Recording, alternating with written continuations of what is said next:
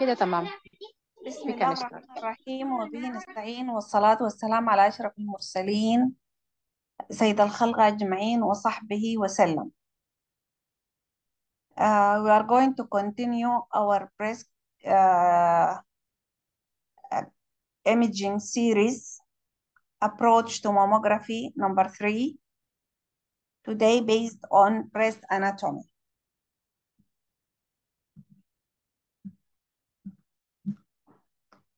Uh, the objectives of this lecture is recognition of normal breast anatomic structures, to be familiar with the normal anatomy as visualized on mammography, so that findings can also be correlated with other breast imaging modalities, understanding normal breast anatomy and its lymphatic that can help us in evaluation the, of disease of cancer disease extent more accurately. Okay. Uh, starting by these uh, mammographic image and illustrations of normal uh, anatomy of adult female, what we can see here, fibroglandular tissue, opaque, resting on the pectoralis major, and deep here is pectoralis minor going out, nipple and skin. Here is the retromammary fat and the premammary fat, uh, deep and superficial fascia. Huh. Would you comment on this image?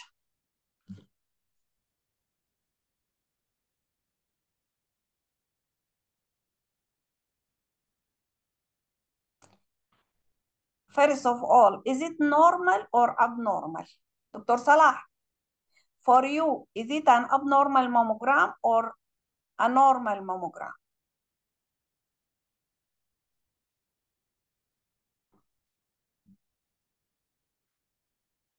Do you hear me? Yes, I hear you. Okay. I, For you, is it normal or abnormal? It's abnormal. Ah, Excellent. Abnormal. In which term it is abnormal? What is abnormality? Abnormal is Uh-huh. it seems more fi- fi- fibrotic or more increased. More increase what? Yes. Your network is really difficult, interrupted. Yeah.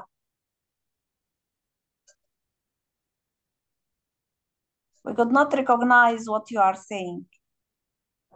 Yeah, yes, it is an Mhm. increased breast. uh, Uh-huh. You are right. Increase breast what? fibrotic tissue. Fibrotic tissue. It's okay. What is the terminology? يعني the anatomic terms of this fibrotic tissue. When you are saying fibrotic tissue, you are talking about normal or abnormal structures. Abnormal. Abnormal. Okay. So you mean this breast is fibrotic. There are fibrosis. There is fibrosis in this uh, breast. Yes. Okay. So no problem. We are going to understand uh, in more details. Sarah. Any of Sarah's or Suhair, yes tell me, tell me what is wrong about this image. Him, uh, inadequate view first, uh-huh, inadequate CC, the upper Uh-huh. part uh, not involved. uh-huh. Okay. Uh, ignore, try to ignore the the quality of the image at this in this lecture. Just tell me to go quickly. Tell me what is which, which what is what is the abnormality. diffuse fibroglandular occupying the whole breast, Mm-hmm. Mm-hmm. thick What uh, else? skin, Thickened. Yes, this is skin thickened. Excellent. Yeah. Skin thickened. What else? What else? What is abnormal? What else is abnormal? Skin thickening. Three uh -huh. Lesion. Uh, it should be either diffuse or we'll talk later. But this is at least there is global skin thickening. What what else is abnormal? We're talking about certain we're not يعني structures these structures become abnormal. Normal structure become because it is based Edematous breast. edematous breast. Excellent. Why it is edematous? How you can explain this breast is edematous? You mentioned global skin thickening. When the second thing is how do you know? how do you know that this breast is edematous? The thickened, yes, thickened uh, Cooper ligament. Excellent. Excellent. Yes. Thick Cooper ligaments. It's okay. Excellent. Well done. The Co- Cooper ligaments are thickened and there is decrease, increase uh, ossification. This it need to co to correlate with the other breast or to compare it with the other breast. But at least now there is a skin thickening and thickening of the Cooper ligament. I don't know why it's stuck.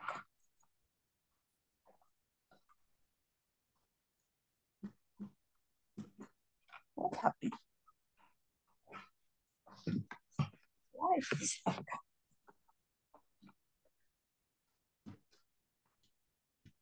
Mhm. Sarah, are you there? أيوة موجودة. Stuck. You cannot go next slide. I cannot go anywhere. See, I'm trying. Yes. Now it's going, Alhamdulillah. Okay. So, Dr. Salah, here you have two breasts. Which, which one is normal and which one is abnormal? Start on the on the Uh-huh. right is normal and on the left, which we seen previously is abnormal. Yes, now you can compare. You can see the normal, huh? Mm, what you call it before fibrotic lines, Mm. these opaque thin, uh, it is thin lines. Now here you can see it as roughly thickened and distorted. Thick and distorted and giving more opacity for the breast and you can compare the skin with this which is becoming very thick. So we need to know what are the building blocks of the breast. What doesn't represent these lines? These opaque lines. What, what about these opaque lines? What does it represent? Cooper's ligaments. Cooper's ligaments or fibrous strands. The Cooper ligaments or fibrous stroma or fibrous strands. Yes, you are right. And these, these, again, there are linear structure, structures seen here. Other than this structure we have seen before. What does it represent this? Just behind the nipple, and mammary ducts. excellent mammary ducts. And what about these? These vessels Huh? Represents blood vessels. Vessels. So linear density, linear water density corresponding to either fibrous strands or Cooper ligaments or stroma, vessels or ducts. These are the normal structures presenting as linear density, linear soft tissue densities. What about these dots? Here, seen in part of mammography, zoom view of mammography. And here we can see it in which there is what in the ductal system? There is contrast in the ductal system representing what? Ductography. Ductography. So what about these are the same as these dots? What does it represent? These small dots. As And- part of normal breast structures. Mhm. And and on ducts. Representing what? Normal Uh, uh, structures. Normal structure because we are talking about the building blocks of the mammography. And on ducts. What? And, And on on that? ducts. No, no, Yes. not that. Not not ducts. Not ducts. A little bit uh, يعني larger than the ducts. We call it what? There is flush of contrast into to what? Any of you? Yes. Hmm? Glands? Gland. Which which part of the glands? We call it what? What do we call this part? Mm -hmm. Acini. Okay, acini or larger than acini. Dactyls. Lobules. Lobules or terminal duct lobular unit or a lobule. Okay? A lobule. Okay. A lobule, we'll see how from which yani, the composition of the lobule are multiple acini. طيب Again, what about this part in the building block? This homogeneous, opaque structure. Is it normal or abnormal?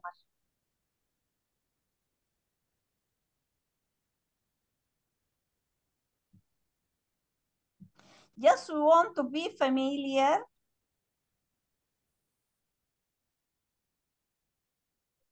You did not hear me? Uh, you are talking with me? Uh, Someone, someone uh, wrote here uh, about the voice. Did you hear me well? لا صوت كويس صوت تمام Okay, سهير كانت ما سامعة ما أعرفة شكل الشبكة من عندها طيب. Okay. Shall we continue? What about this opaque structure? What does it represent? uh-huh. Uh, لا glandular tissue Yes, only glandular or we call it fibroglandular. fibroglandular. This this represent a fibroglandular. I don't know. I don't know why it become stuck again. It is stuck again.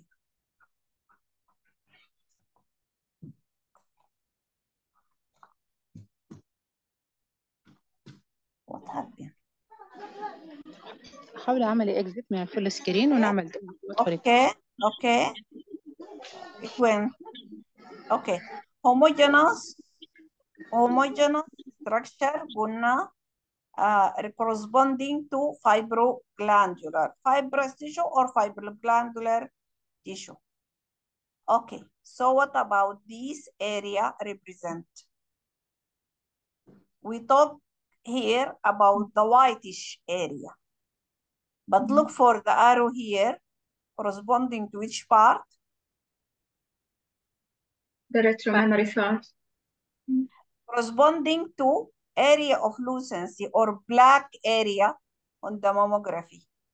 Not only retromammary, even something Yeah, I within, was, yeah, within the the fibroglandular interspersed fat. And the subcutaneous fat and the interspersed fat within the Yes, fibroglandular and the retromammary. yes. So this represents the fat or the adipose tissue within the breast, which could be seen in the premammary region, retromammary, or interspersed within the fibroglandular tissue.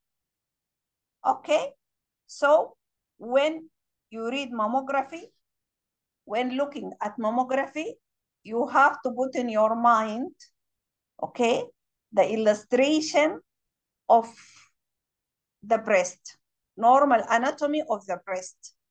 So you can imagine everything in the mammography, what does it represent? And what what is this? What is this? What is this opaque structure here? What does it represent? Pectoralis uh, muscle, pectoralis major muscle. This is the pectoralis major muscles because the breast is resting into the pectoralis major muscles. If we go back to embryology of the breast, you know that the breast is modified skin gland. It developed from the mammary ridge or the ectodermal ridge, which is a ventral band or ventral streak from the axilla to the groin, as we said previously. And as you remember, we said immediately when that develop, uh, it get resolved. And it, with exception of a small middle area over the chest wall, representing the mammary bud. Okay? If يعني any part of this line, any part through this line could not completely resolve, it might result in accessory breast or accessory nipple. But it is most common where? In the axilla, as we mentioned before. And when we look at mammography, we should not say this is an axillary breast full stop. We have to make sure this axillary breast is really normal breast tissue. Here it is clear, it is heterogeneous like this one, again here, okay? But we have to look very closely to make sure there is no pathology within this part. And when it is a small especially, you see like in this area, the ectopic breast is small. We don't know, is it a pathology or it is a real breast? So we have to put, to do what? Spot compression, magnification view to make sure this is just a normal fibroglandular accessory breast not representing any pathology. In this elderly woman here, she has an ectopic breast, but also we are not sure she has a dense regular breast and she has ectopic breast. But when looking closely, is not spread away, but it become, it appear like what? It is an spiculated mass, which is seen here, seen on ultrasound, and proven to be infiltrating ductal carcinoma. And also we said that the accessory breast, it can be uh, a, a ectopic breast separate from the main breast or extension of the main breast through the foramen of what? Langer uh, along the anterior pectoral fascia into the axilla representing the tail of Spence. And we have to make sure, is it what we have seen here?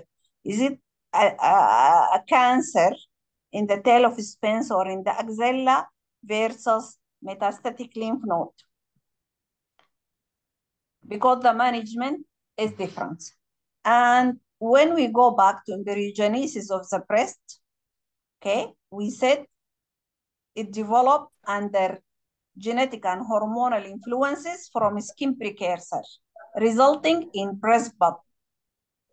Ferris et al., that breast bud, okay, does not affect by hormone, It's hormonal independent, but start to penetrate into the epidermis or into the mesenchyme. And it continue lengthen, okay, and sending what?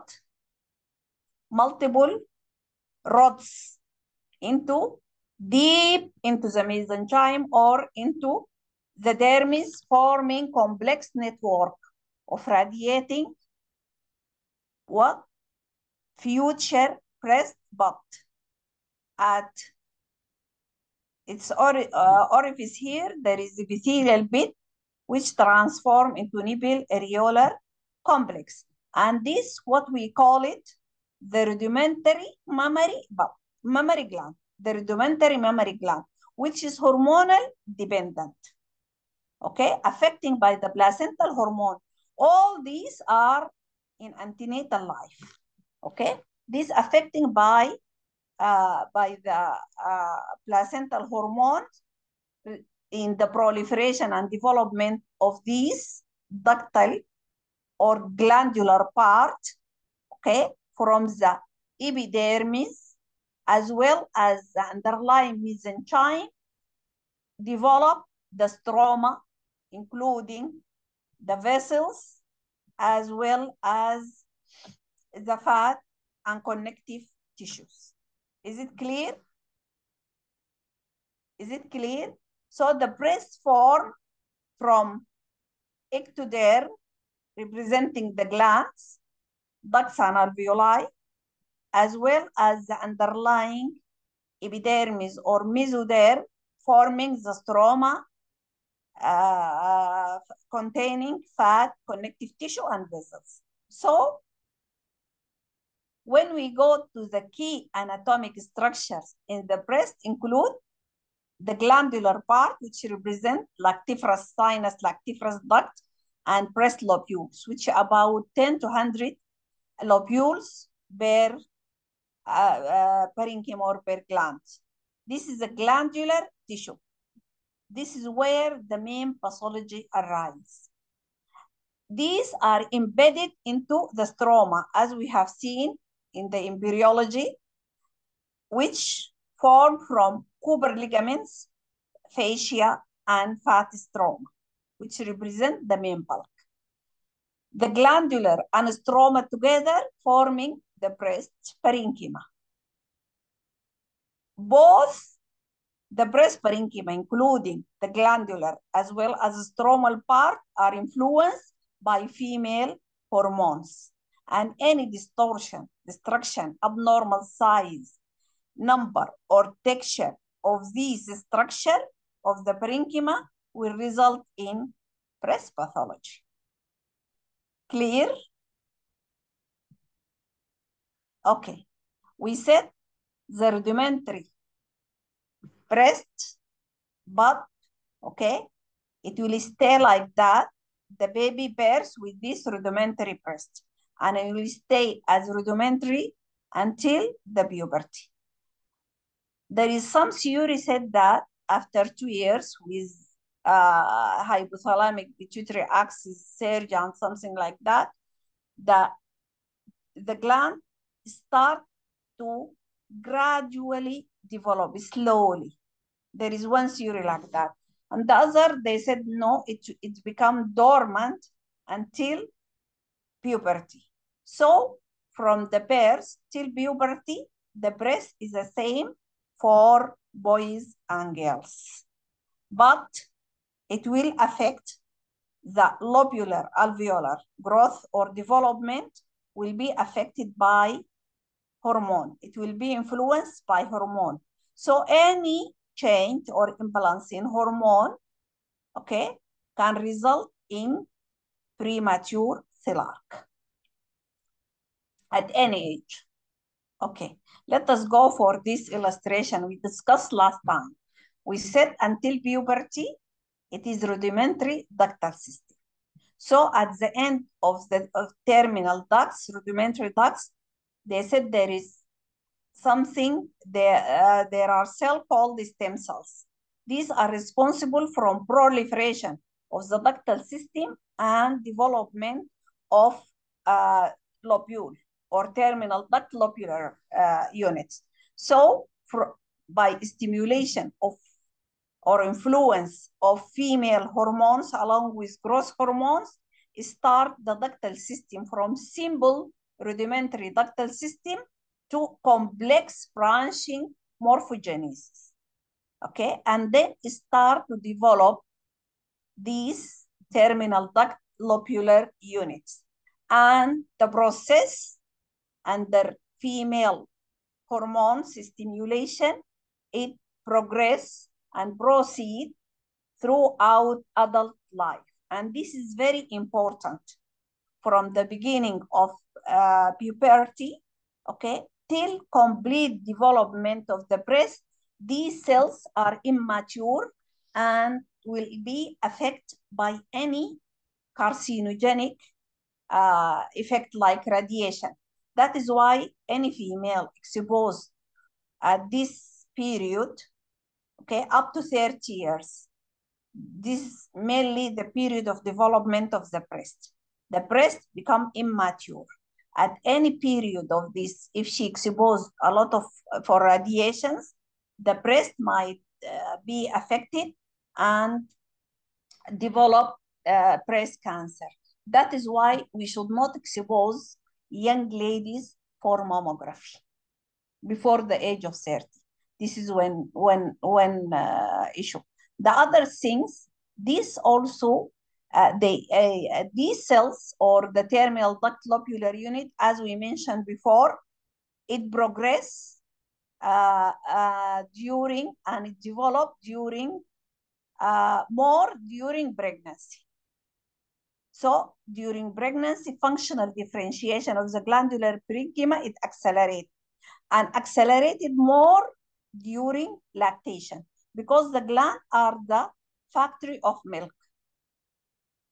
Okay, so if the lady married early and she get first full term pregnancy by age of 18, you know that she have much lower risk of breast cancer than the lady develop her first baby at the, after the age of 30 because she accelerate the development or maturations of her breast earlier. Complete maturations, it will occur earlier. Okay. And in male, what will happen in male? As you know, the testosterone surge during puberty, it will cause involution of these ducts. That is why their breast usually compose only of fat with absence of fibroglandular parenchyma. However, in many of boys during the puberty, they have what is called uh, physiological gynecomastia. Why? Because fluctuation in hormonal environment result in some imbalance and estrogen dominate the testosterone result in a transient gynecomastia and usually resolve after two years. And for the female, interactions of the glandular and stromal tissue, it continue throughout life. And as you know, by withdrawal of hormones, then withdrawal of hormone of lactation first, then some of the uh, developed or proliferate terminal duct lobular unit, it involutes. And that is why the breast getting back is smaller. But the more involutions occur in postmenopausal due to withdrawal of female or ovarian hormones and the breast become more fatty as we discussed before. And we discuss what are the opaque structures, what are linear structures, and how fibroglandular appear as white, why the, the fibrous stroma or Cooper ligament appear as linear, the vessels appear as linear, and all these together, the stroma representing what and the glandular, how does it appear on mammography, and the combination and the percentage of the fibroglandular tissue in relation to the fatty component of the breast, it, uh, it, it reflects the density of the breast. Okay? Whenever we have more fibroglandular parenchyma, that means the breast is more white, is more dense. Okay? When the breast get involuted, going less resolution of the fibroglandular parenchyma and predominating the fat, so it become clear. And that is why the sensitivity here, because the cancer is white and fibroglandular parenchyma is white, difficult, there is no contrast and difficult to be appreciated. And since 1953 or 1967, there are pioneers that describe that not only obscure the, the, the, the underlying cancer, but also uh, radiographically dense breast has increased risk of breast cancer since that time. Okay. If we look here for the, even the breast size is affected by these physiological changes.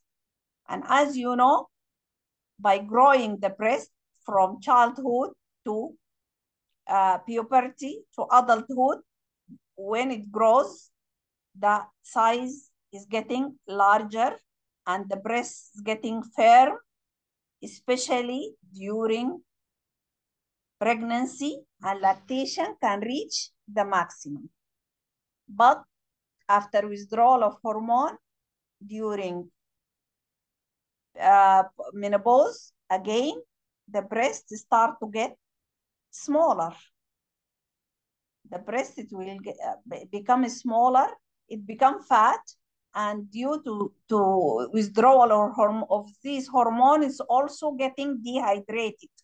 And due to dehydration, decreased elasticity and associated with loss of volume and shrinkage of the breast, okay? So it becomes smaller and become sagging also. Okay. Let us go again to uh, anatomy of the breast. I prefer that to go from microscopic back to gross anatomy because this is more a little bit more details. The microscopic anatomy of the breast is a detailed anatomy and it needs concentration. That is why I prefer to start when we are fresh, still fresh. We can understand it better than the, at the end of the, the lecture. So when you look to this illustration, you understand that the breast is composed of multiple segments or multiple lobes. It is usually more than 20 lobes. Each lobe has a main lactiferous duct open at or on the nipple, okay? And are arranged radially, okay, toward the nipple. And each lobe, it, it is like an independent glandular entity. It contains of multiple lobules, between 20 to 40 lobules, and separated by interlobular uh, septa or fibrous septations. And these lobules are linked by a network uh, or thin ducts or ductules. Again, if you look here for these illustrations from the nipple, the ducts going like this, okay? The terminal ducts there end into lobules and the terminal ducts along with lobules, they call it the terminal duct lobular unit. If we look here, this is like a tree, okay? This is, we can consider it when a lobule, or this we can consider it when a lobe, I mean, not a lobule, a lobe. This is a lactiferous duct, and this representing uh, alveoli. Okay, uh, the main duct, as we said, are pries or branching into segmental and subsegmental until it end into terminal duct lobular unit. Okay, it looks like a tree. The main duct okay, going into segmental and subsegmental to the terminal portions. And until here, this is a lobule along with extralobular duct representing the terminal duct lobular unit. This is a ductal anatomy. And this is the area where almost all pathology, up to 98%, occurs in the terminal duct lobular unit, including proliferative changes, fibroadenomas, as well as lobular and ductal carcinoma.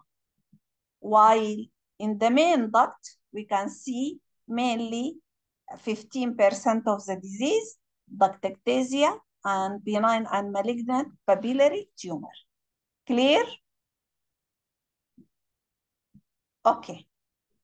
Here, this is simplified anatomy of female breast. We can see the same. Look here, this is a ductal system. The main duct branches into segmental and subsegmental to lobule. So look here, as the terminal duct lobular unit, you can see sclerosing adenosis, fibroadenoma, fibrocystic cyst. When you go to the main duct, you can see here only what? A papilloma. And this is normal and abnormal uh, simplified anatomy illustrations for the, this is a normal خلاص of the of the uh, of breast tissue and this is abnormal. Look here, these are the major ducts. When you go to the glandular portion or terminal duct lobular unit, you can see multiple cysts representing and fibrous tissue representing fibrocystic process or fibrocystic conditions. So these are ductogram and this is a mammogram, full field digital mammography. What you have seen here, this is what benign papilloma where it is within a major ducts. Here, this ductectasia and on mammography also you have a ductectasia. Can you see it here very close to the nipple at the level of the major duct? So at the level of the major ducts, the main disease, what we can see is ductectasia and papillary uh, disease. While the remaining of most of breast conditions expected to be seen at the level of terminal duct lobular unit. So this terminal duct lobular unit is very important. Why? Because it is the basic functional and histological unit of the breast. And most of the cancers arise at these levels. If we will start, okay, if we consider where the milk is produced, this is the proximal portion. So the lobule, we will consider it as a proximal structure going to the periphery to the nipple. Or if we consider the nipple is the uh, starting point, going major duct to the periphery or deep into the breast.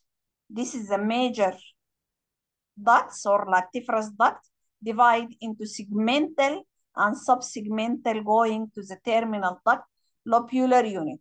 And what we can see here, not always the terminal duct lobular unit necessarily to be seen deep, okay, or at the periphery of the breast. We can see some terminal duct lobular unit very close to the major ductal system here. That is why you can see some pathology very close to the nipple. Okay, so if we'll go further to understand what is terminal duct lobular unit. When you look here, this is the major duct. And as we have seen in the previous illustrations, the major duct start to divide segmental, subsegmental ductal system until to reach to a terminal duct. Okay, this is a terminal duct outside the lobule, we call it extralobular terminal duct. And the same duct, extralobular terminal duct extending inside the lobule, and we call it intralobular terminal duct. So the terminal duct or the end of the ductal system, okay, divided into portion outside the lobule, we call it extralobular, and inside the lobule, we call it intralobular. And after coming intralobular, then start to, it become blind, forming a blind-ended cluster of ductules, okay, like fi finger-like gloves. This is the same duct start to form these alveoli or ductules or acini, okay? This is the glandular acini or the security, secretary, sorry, secretary unit. This is where the milk uh, is produced, okay? This is the olfactory uh, of the milk. The factory, sorry, the factory of the milk. This is the factory of the milk, okay? And this is alveoli or acini, as we mentioned, is a finger-like gloves or these alveoli, okay? It is the end of the ductal system. It become like that. And inside the ducts, inside of these is intralobular terminal duct. And these inside here, there is connective tissue stroma. There is a specialized connective tissue stroma connecting these ductules. These ductules are connected by a special type of stroma. So what is a lobule? What is a lobule? The lobule is composed of intralobular terminal duct, as we mentioned here. These ductules or acini, okay? These ductules or acini, okay? Interconnecting with specialized loose tissue. The specialized loose tissue connecting these ductules or acini as well as the intralobular uh, loose tissue, stroma, intralobular duct, together the structure forming what is called the lobule. And the parenchyma contain from 10 to 100 lobules. You got it? Is it clear? Uh, is it clear? Okay. So the end branch of the ducts, the end branch of the ducts, this part, the extralobular terminal duct, along with the lobule, collectively together, they call it the terminal duct lobular unit. So what is the terminal duct lobular unit? Is form of the lobule and extralobular terminal duct. When we say the pathology arise in a terminal duct lobular unit, we don't mean that it arises only inside the lobule. It can be arise into the lobule, including the duct, intraductal lobular, or in intralobular, I mean intralobular duct, or extralobular duct. So there is ductal element within the terminal duct lobular unit. This is very, very important because when we talk later about the disease process or from where the origin of the cancer, when we said lobular, we don't mean, when we said ductal, not necessarily to be ductal from the main duct here. From here, even it is ductal. From here, even it is ductal. But in the remain of the lobule, then we are talking about lobular. You got it? Is it clear? Do you have a question here or is it clear? Shall we go for the next? It's okay.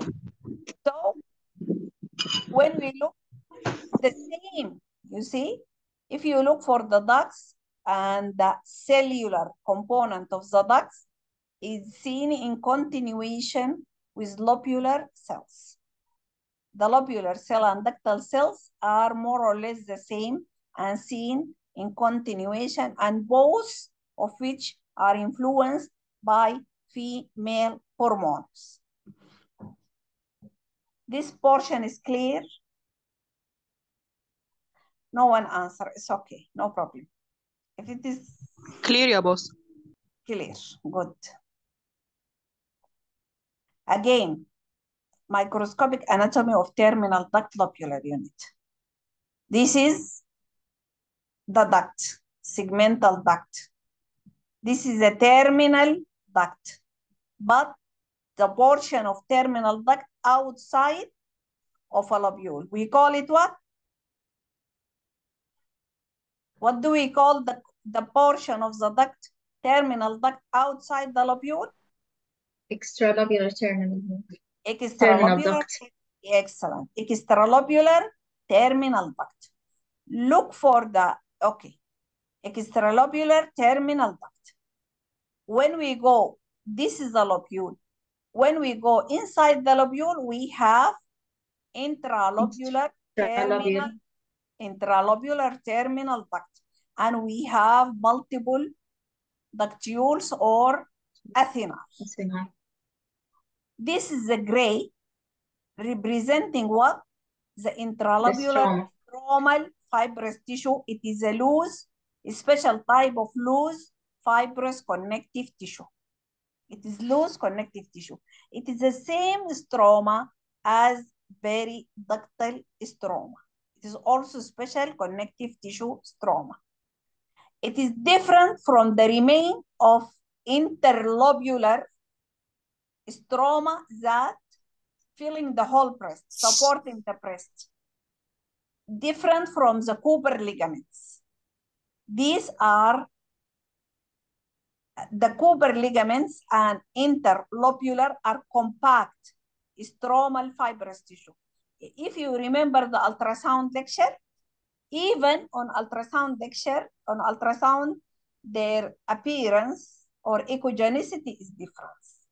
We mentioned it before and we are going to mention again in ultrasound pictures. Okay? So just remember the connective tissue or the stromal tissue supporting the lobule, inside the lobule and in periductal area is special loose interlobular or periductal stroma, different from the compact stroma connecting the lobule together or connecting the ductal or supporting the breast. Now, I think is a better, more clear.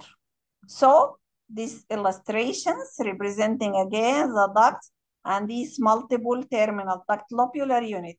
We can see it here in a ductogram.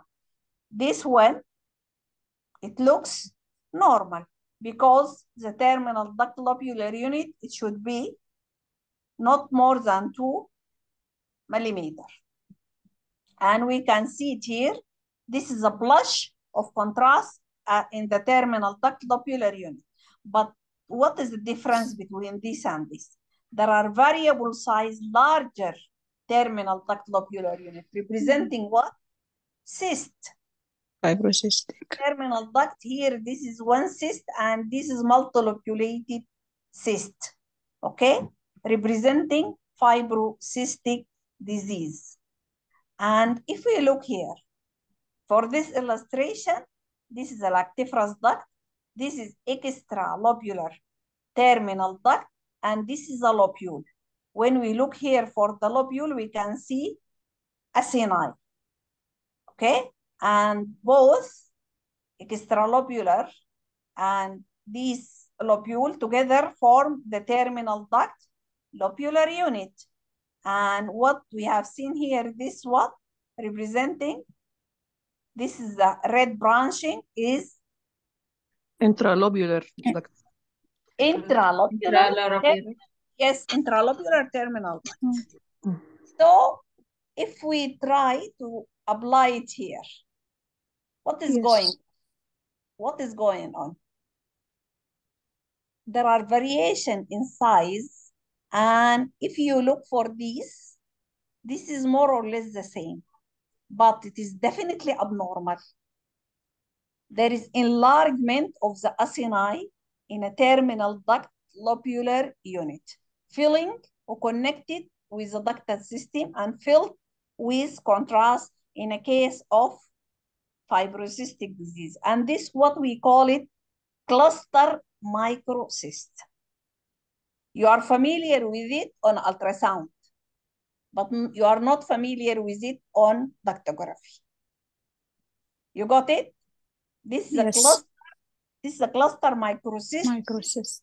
enlargement of acini in a terminal duct lobular unit. Here we can compare it with this normal size, okay? Yani flush into uh, sinai okay? Or into terminal duct or into lobules. This is a normal, this is a normal one. There is flush into normal because the width of which is uh, below uh, 2 millimeter. Again, if we compare this ductography, okay, of fibrocystic, the caliber here, these are large cysts, are more than 2 millimeter. You compare with the three-dimensional histology image here, it shows this, this normal terminal duct lobular unit because the size of which is is below two millimeter. acini less than 2. But look for this. This is as a whole. Look how this is cystic dilatation of acini. Mhm. Acini demonstrates cystic dilatation in a fibrocystic. And when we look even, okay, when we look within these acini, look for these dots in the histology. These are represent apocrine metaplasia, which is just uh, cellu increased cellularity, part of fibrocystic changes. Okay, so as we mentioned before, 85% of pathology benign or malignant breast diseases or conditions arise into the terminal duct lobular unit. Whatever fibroadenoma, uh, proliferative changes, apocrine metaplasia, as we have seen, adenosis, epitheliosis, all arising. But definitely for the patients and for us, okay, always concerning about ductal carcinoma, infiltrating or in situ, and infiltrating lobular carcinoma. And the theory behind why cancer arise in the terminal duct lobular unit, they said, and as we describe in embryology, uh, we said that there are stem cells at the end of primitive terminal, primitive, at the end of primitive ducts, okay, responsible for the growing of the ductal system and formation of alveoli and terminal duct lobular units. And due, because these stem cells are influenced by hormone and are undifferentiated cells, are likely to develop malignant transformation. Because the proliferation here is high, okay, and due to rapid proliferation, there, are, there is chance for DNA mutations and uh, DNA replications and then malignant transformations. Okay. Microscopic anatomy, we have to know what is, we mentioned before, the same cells in the ductal system, from the ductal system extending into the lobule. Lobule. What are the component of these epithelial uh, cells? What are the epithelial cells of the ducts or the uh, lobule? The ductal lobular system composed of two Simple main, two main cells. The inner, which is the luminal epithelial cuboidal cells, okay, which is uh, which is secreting the milk, and the outer one, the basal myoepithelial, okay, and this is important, and as well as the basement membrane surrounding from outside these two cells, okay? We'll see why this is important, the basement membrane and the basal cells, because it will differentiate between healthy DCI, healthy cells, DCIS, and invasive cancer. Here we can see this is the luminal, okay? The natural luminal cells in these illustrations. And the red one is myoepithelial cells. Here it is intact, as well as the outer basement membrane. Here there is proliferations, okay, of cells uh, into the lumen of the ducts, but however, look for the red myoepithelial cells as well as basement membrane are so intact. So we are dealing with ductal carcinoma in situ. Still confined to the duct. But when there is breach in the outer layer, the basal layer and the basement membrane, and the cells coming out into the adjacent tissue, then we call it invasive ductal carcinoma or invasive cancer. Okay? And here, this is a, a histological image demonstrate. Mhm. Who is talking?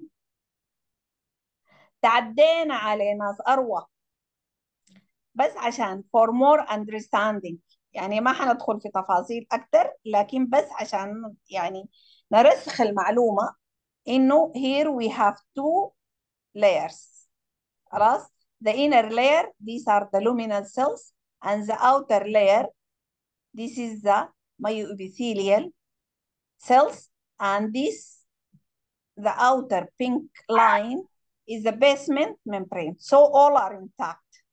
We are not, and the cells it seem to be healthy. We are not going to talk about the nucleus and more details. It is not our area. Just we brought this image to understand yani, eh, that illustration we have seen.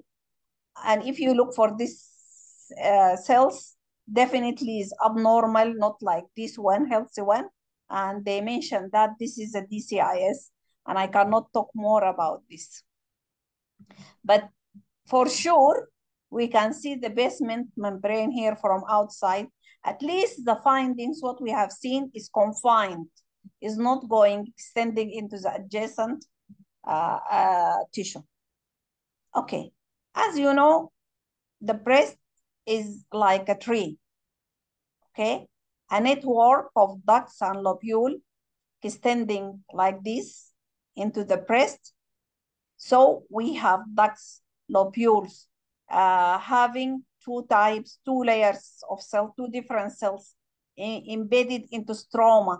So we have variations of cells within the breast. And definitely the tumor, breast tumor, cell origin, it will be different. This result in heterogeneity of the breast diseases or breast cancer disease, okay? And it, apart from just saying the proliferations of epithelial cell confined to the cells with intact myoepithelial layer, or there is a breach in the layer, layer and extending into the adjacent tissue, there are other factors also they are considering in their pathology or report, including the grading, nuclear grade, the tumor size, the steroid receptors, the HER2 status, and other factors like Ki67 and so forth. All these are prognostic factors and they are considering uh, and they are important for the uh, selections of treatment. And according to understanding of this anatomy, the new classification of breast cancer depend on cell origins. They said that there is the adenocarcinoma uh, arising from the terminal duct lobular unit or from lobule, from the acini of terminal duct lobular unit, they call it acinar adenocarcinoma of the breast. A, A, B, S, S for, for uh, class for plural. Uh, A, B, B, uh, A, B, B, S. This is the acinar adenocarcinoma of the breast. And this arises from the acini from the acini of terminal duct lobular unit. Why we said the acini? Because there is intra intralobular terminal duct. So if it is arising from the ducts, if it is intra or extra, then we call it differently. We call it uh, ductal. Regarding the acinar adenocarcinoma, if it is in situ, we should not call it DCIS. We are calling CIS or lobular neoplasia or lobular carcinoma in situ. When now they are not considered as a precursor for cancer. They are not considered as cancer, the lobular in situ, but they consider it as moderate risk for breast cancer. And the ABBS has better prognosis. And they said that it is unifocal in more than 40% of cases.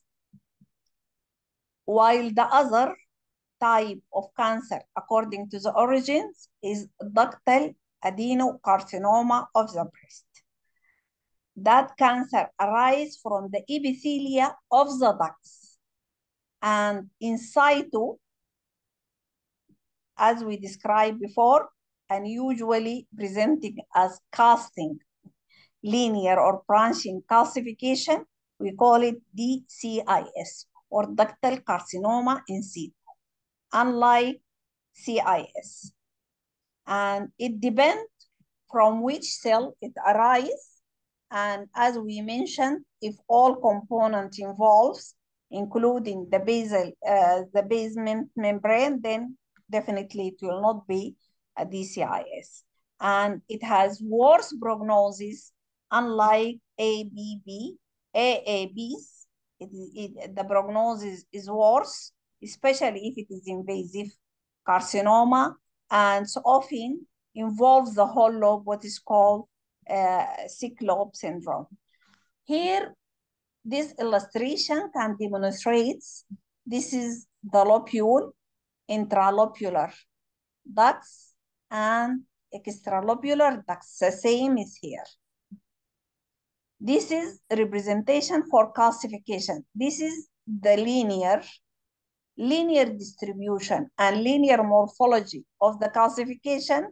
This is casting the ducts and usually represent the CIS, intraductal calcifications. Usually you are taking as a serious, but when the calcification is seen within the acini, not within the duct of the, of the lobule, within the acini of the lobule, it is either milk of calcium uh, or rounded and most of the time sharp with little exceptions, okay? Most of the time benign type of calcification. However, few uh, cancer can present like this. When we look here, we might say, yes, this it looks round type of calcifications. So probably this is acinar or lobular uh, calcification. But we have to make sure we have to do spot magnification view. Okay, look for the cancer now, for the calcification, I mean now. It is not like what we have seen here. More, it is pleomorphic, but most, most of which is linear. So we call it the worst. We'll take the worst. We'll go by linear branching calcifications. Okay, this is a case of a DCIS, ductal carcinoma in situ. Okay, shall we go to the next? Yes, boss. Okay, so lobular distribution of the ductal system. As we mentioned before, this system like a tree. If we look for from here, for one ductal system, okay, from the nipple going into the breast, like this, the stem of the tree, like the main duct, and these branches of the tree representing the branching of the ductal system. Each duct divide into, as we mentioned, divide into segmental, subsegmental until it reach ultimately the terminal duct lobular units. So the major ducts, okay, it course away from the nipple in a radial pattern. It look like what? It is similar to what? Mhm.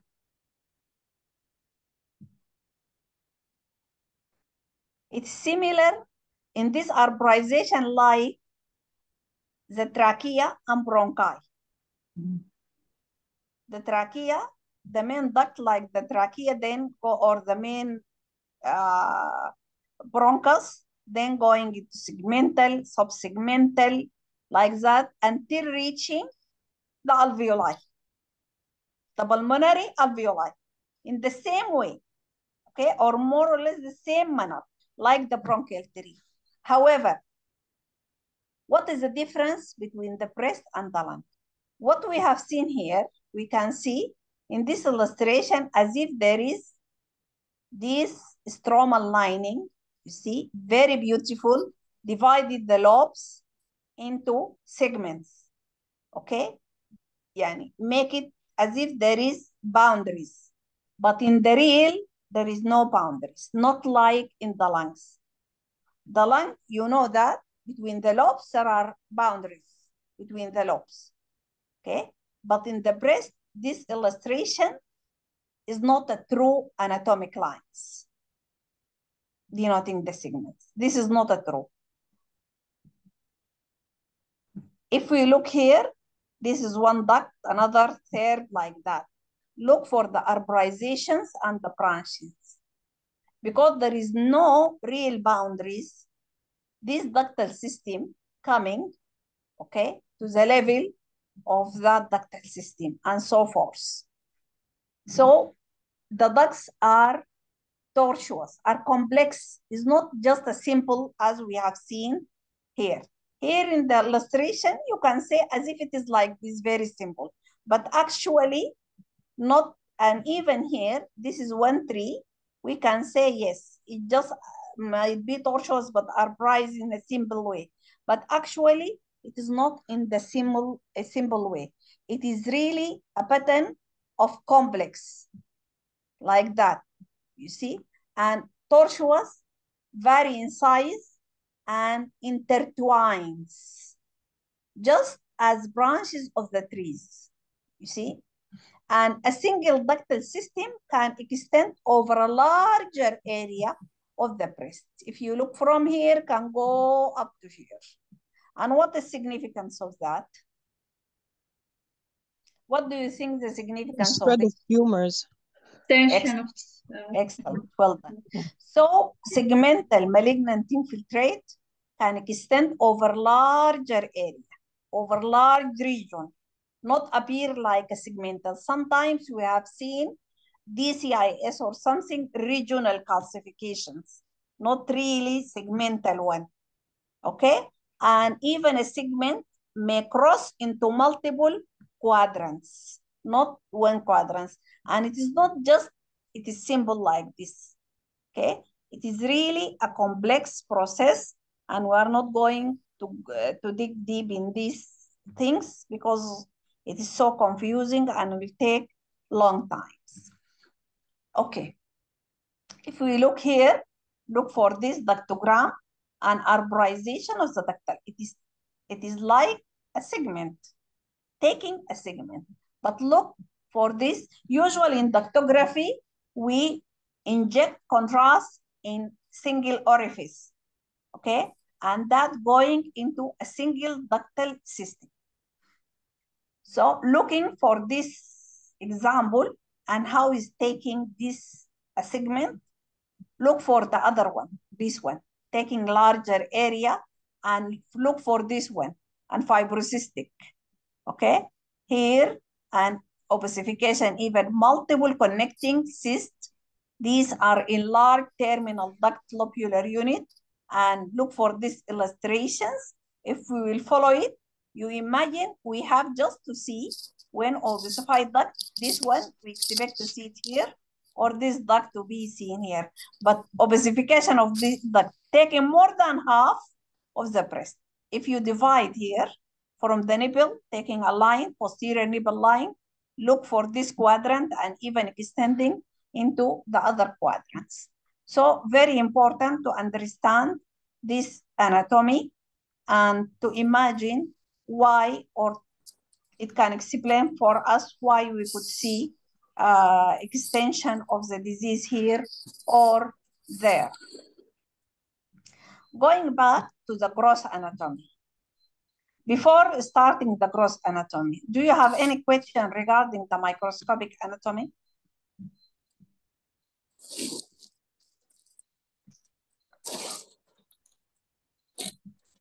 Mhm. No What is the, question? co- what, uh, uh, pardon? What uh, the content of the lobule? What, what? The component of the lobule. A lobule. It's okay. Go back to lobule. Again, no problem, Fatima.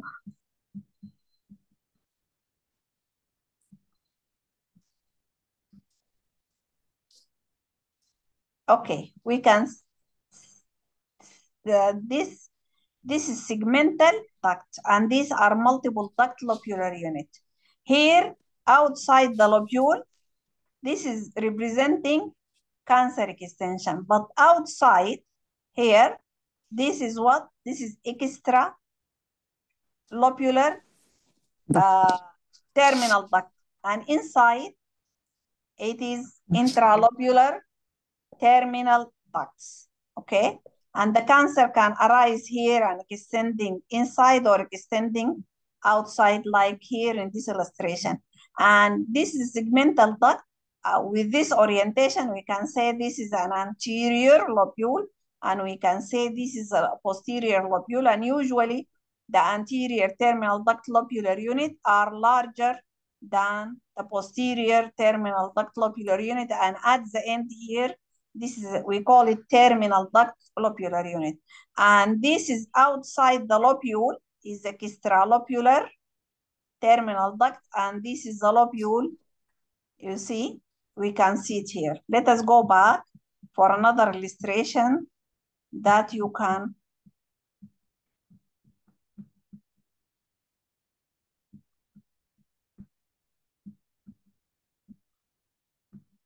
Okay, that one here. This is the main duct, Fatima. Mm. That is the main duct. Okay? Okay. Going, going into segmental, subsegmental until it terminate. This is the end of the duct, the terminal duct.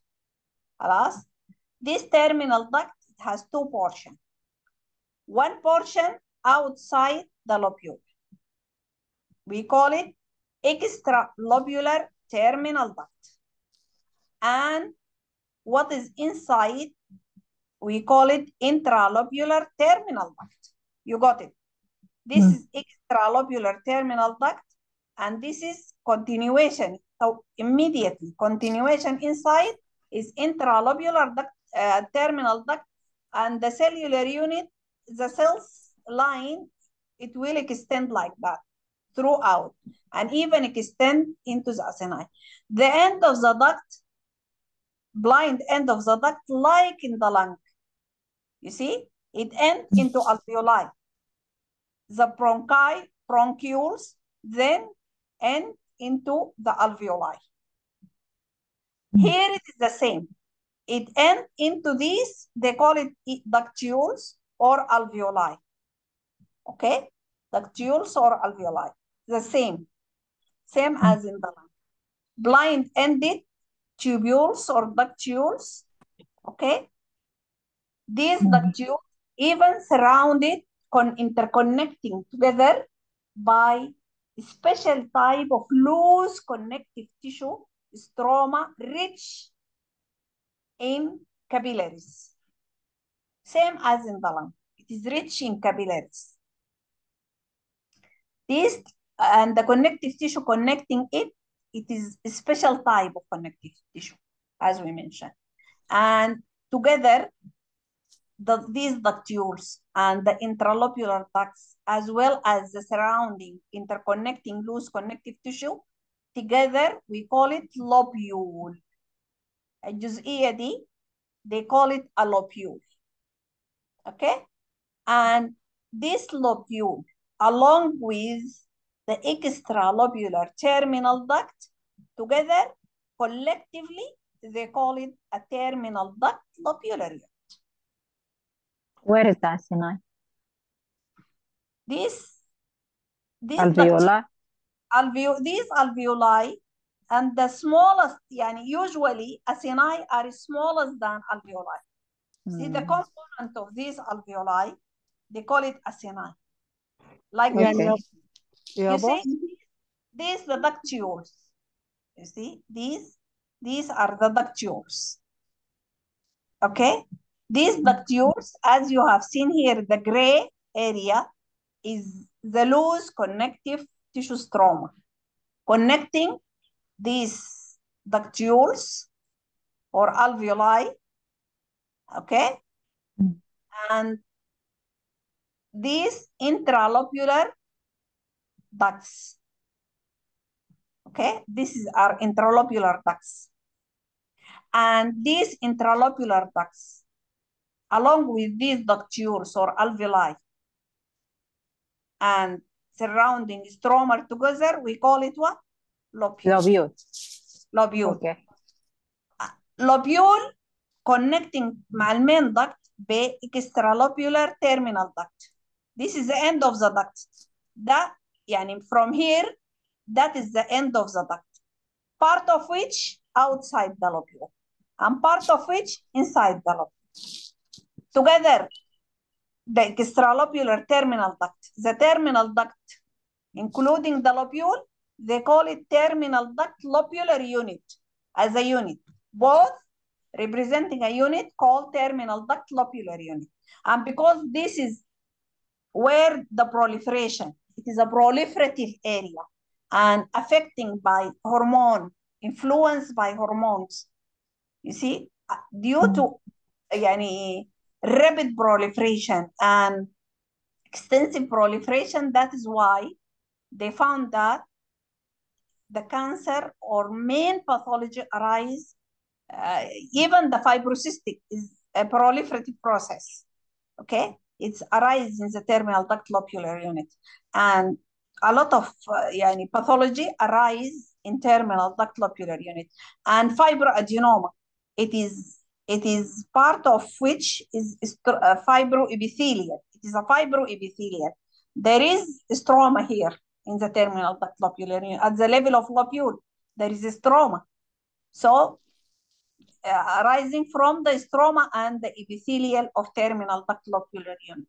And the fibrocystic itself affecting both the stroma, eh, because it is a fibrocystic, okay?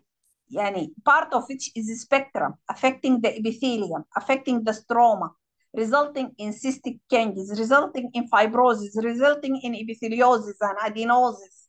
All the components occur within this fibrous, uh, within this terminal duct lobular unit. And the cancer itself, either the cancer arising into the ducts of this unit or arising from the acini. When arising from the acini, they call it lobular cancer or what? An abbreviation. Acinar. Acinar. Aciner. A. A. S. A. B. A, A, AABS. Mm. AABs. And when arising from the duct, the ducts of the acini itself, Mm. they call it DAB. DABs. DABs. That this is the new. Yes. AABs when arising from the acini, specifically the acini. Okay, from these ductules. When arising from these ductules, okay, within the lobule, terminal duct lobular unit or from the lobule, then they call it AABs. When arising from the ducts, they call it DABs. Okay? Okay. Thank you. Okay.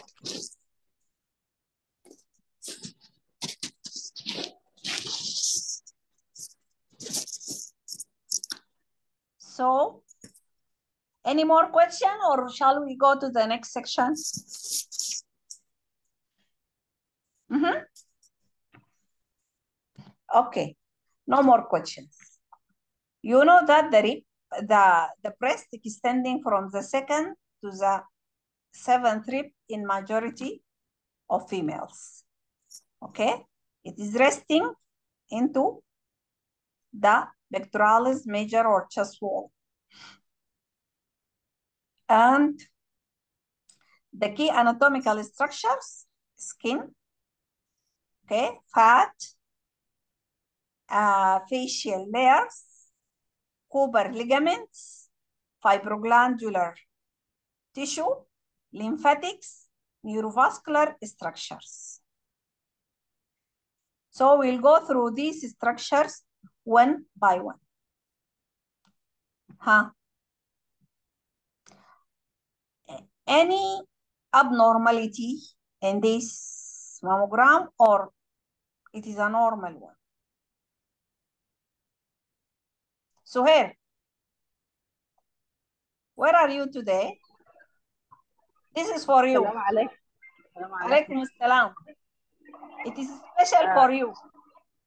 Yes, this is a part of a normal variant representing posterior, echogenic, uh, hyperdense, well-defined lesion, likely What? representing sternalis muscle. Excellent, well done. That is why I gave it gift for you. I know you know it. Yes. What we have seen here, okay, but we have to make sure. Yeah, we cannot say directly, as especially in this case, it can be part of a. It can be. We have to make sure to do ultrasound or MRI or to compare with CT if the patient having a CT to make sure if this is a normal variant or not. But here it is relatively yani, more clear because it simulates the muscles.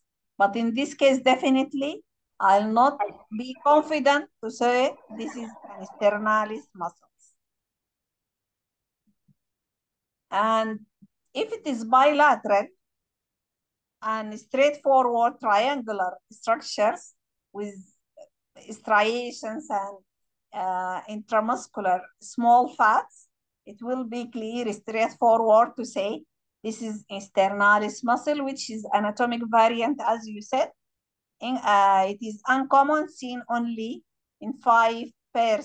Etiology, uncertain. It is just seen on the medial breast. Important to see it. Medial breast, and sometimes can be mistaken for pathology. But as we said, we should not in the first case here, it can be a mass. This is here, it can be mass.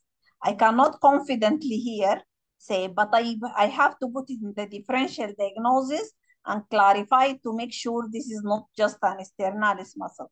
But in the second and these cases, definitely it is straightforward. It is medial, parasternal, okay?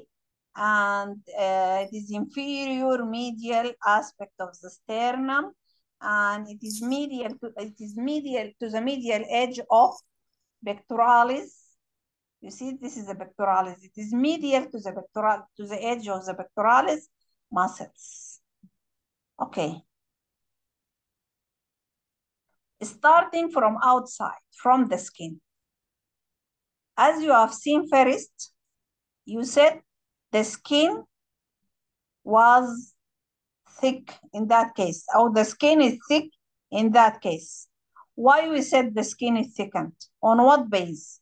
When we say there is a skin thickening, either we compare it with the remain of the breast, there is asymmetric thickening, or compare with contralateral breast, there is asymmetric thickening, or the skin is more than two millimeter. If it is more than 2 millimeter, then we can say the skin is thickened. And not like on ultrasound, we can see different layers of the skin. Here on mammography, we can see skin as very thin, opaque lines, okay? Or soft tissue density, linear density, lining the breast from outside. It can be slightly thick in younger patients or in the inferior portion of the breast, but it should not still be yani, very thick or pathological thickening. Okay? Definitely here we can say this is thickening, though the skin here is really normal. But look, the areolar skin here and inferior breast is definitely thick. Compare it with the remain of the breast or with the contralateral breast. And this is definitely pathology. And regarding the nipple areolar complex, Montgomery gland. The Montgomery gland, part of the skin, okay? Usually we have seen it on ultrasound, but on mammography, we could not appreciate it. We could not see it. Unless it get complicated and associated with abscess formation or whatever. And what are the caves of Kopans? These caves of Kopans are normal variant. If you look here, you can see tiny lucency uniformly scattered throughout the skin. Here it is seen as end-on. These, uh, these tiny, tiny two to three millimeter radiolucencies here seen as end-on and representing what? What does it represent? Actually are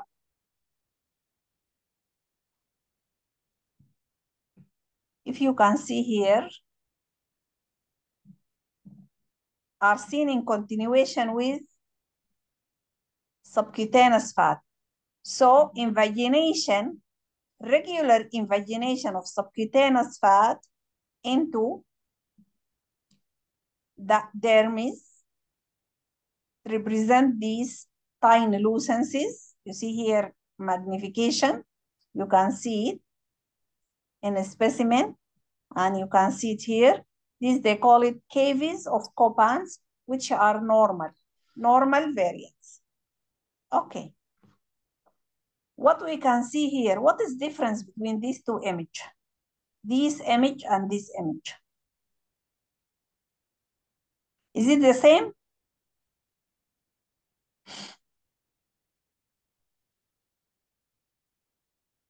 And this? Huh? Are they the same? Sarah Osman, Yes. what is the difference between this mammogram and this one? This is the same patient. The same woman, I mean. Hmm. Might not be a patient, but same woman. What is the difference between this image and this image? Go to the first lecture. In Did you left attend? Hmm? In the left side is the mediolateral oblique. In the right side, extended lateral view. No, both are MLO, MLO. and these both are CC. Different. These are different from this. Huh? What is going on here? This CC view and this is MLO view might be the same patient, but representing something different.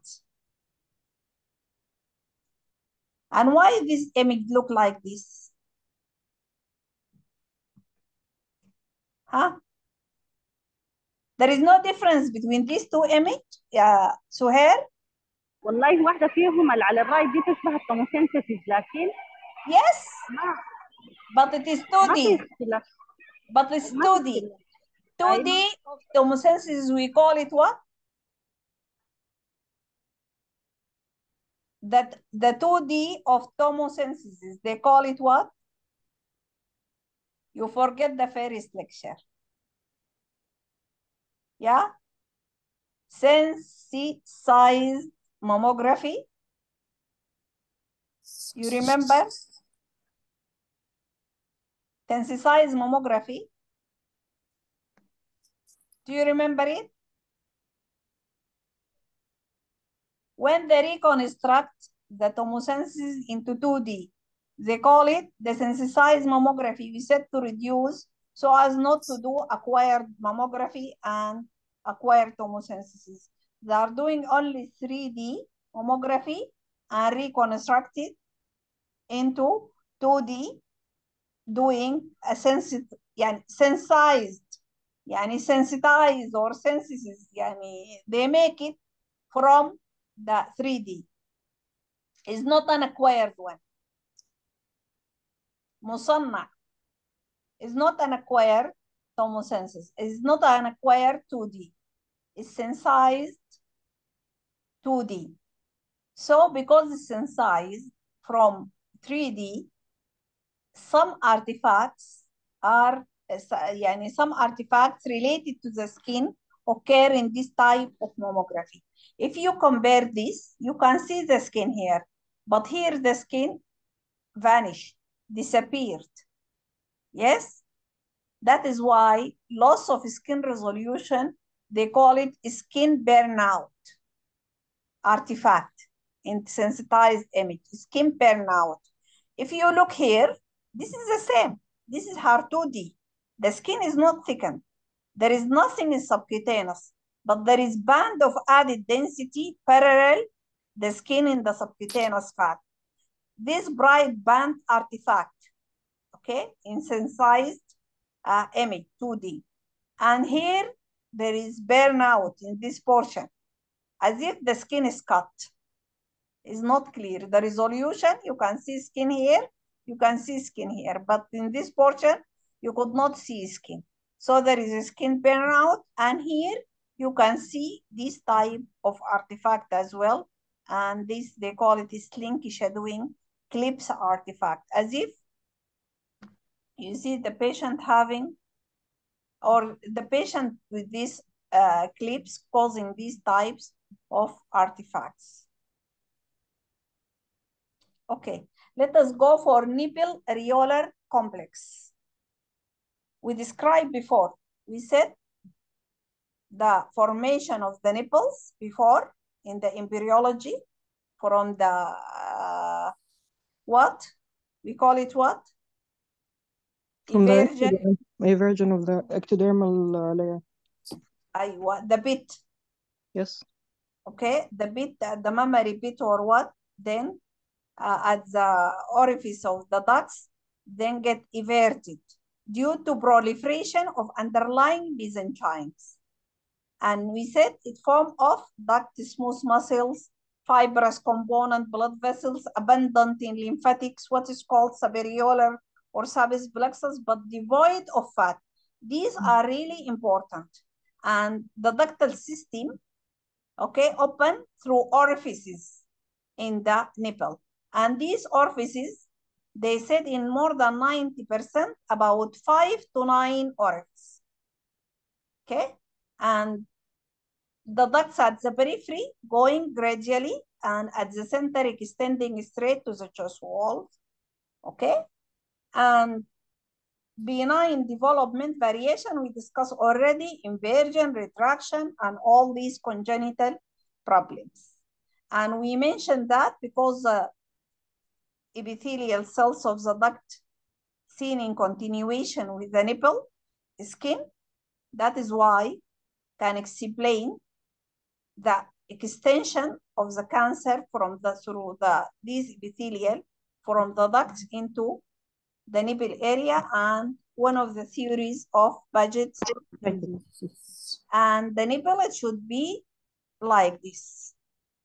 Everted smooth there are variation in size but at least we have to compare it with the contralateral one and with the textures density and all these things this calcification definitely is abnormal nipple is not a normal variant or should be calcified. Calcification is abnormal. It could be benign or malignant conditions. We have to clarify it and to make sure what is the cause of that. Okay. In the development of the breast, okay, the breast, we said it is the skin. And as you know, there is a superficial layer of fascia. And this is superficial layer of fascia. It has two layers. One layer posterior at the pectoral and one layer just parallel to the skin. And there are two theories. One theory that this superficial layer split and then the breast develop within or they they said this is an insinuations or the other theory is invaginations the ductal system invaginate and then enveloped by this superficial fascia okay uh, incompletely because there is lack of fascia here in the at areolar complex and if you look for these illustrations you can see the breast here the fascia is devoid at the nipple areolar complex, starting from the edge of the nipple areolar complex. This is the superficial layer of the superficial fascia, okay? And here, this is the deeper, the deep layer of the superficial fascia. And there is another fascia here. Uh, we'll see it later. There are deep fascia and there is superficial fascia.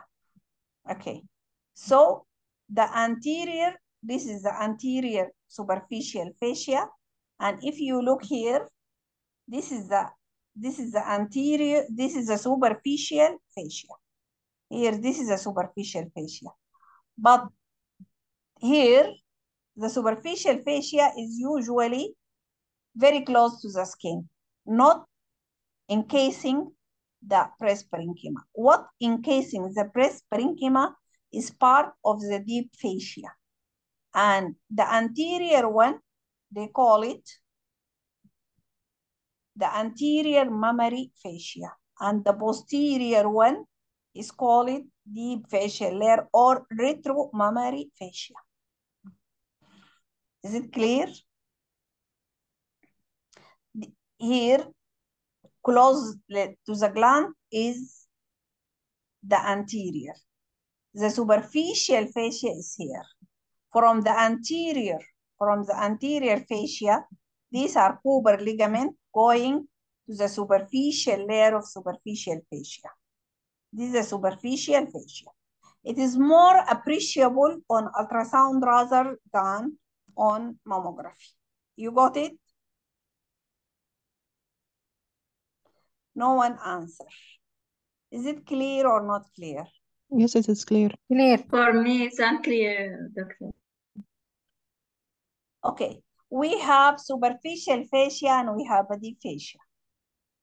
The superficial fascia parallels the skin. Okay, and the deep fascia is close to the gland. This is the deep fascia. This is the anterior mammary Okay. fascia. This is the anterior mammary Okay. fascia. And this is the deep fascia, retromammary fascia. These both are a deep fascia. The ah. anterior, the posterior, retromammary, these are deep fascia. The superficial Okay. fascia is a little bit away from the gland. It is close to the skin here. You can see line going here. Can you Mhm. see this? Yes, you yes, opaque line? Sometimes more Yes. close to the skin and in some areas a little bit away from the skin. This is a superficial fascia. And the Cooper ligament, you will see it going through the gland and you will see here from the anterior one going into the deep fascia and coming back. We'll see it more. okay. Okay. So what are Okay. the common? Would you please close your mic? يا دكتورة رباب Yes. superficial Close facial mine. still عندها still عندها ال ال البوستيريور element حقها صح overlying البكتوراليس yeah it is it is close to the pectoralis muscle. Okay. Yeah the posterior one is close to the pectoralis. Okay. excuse me.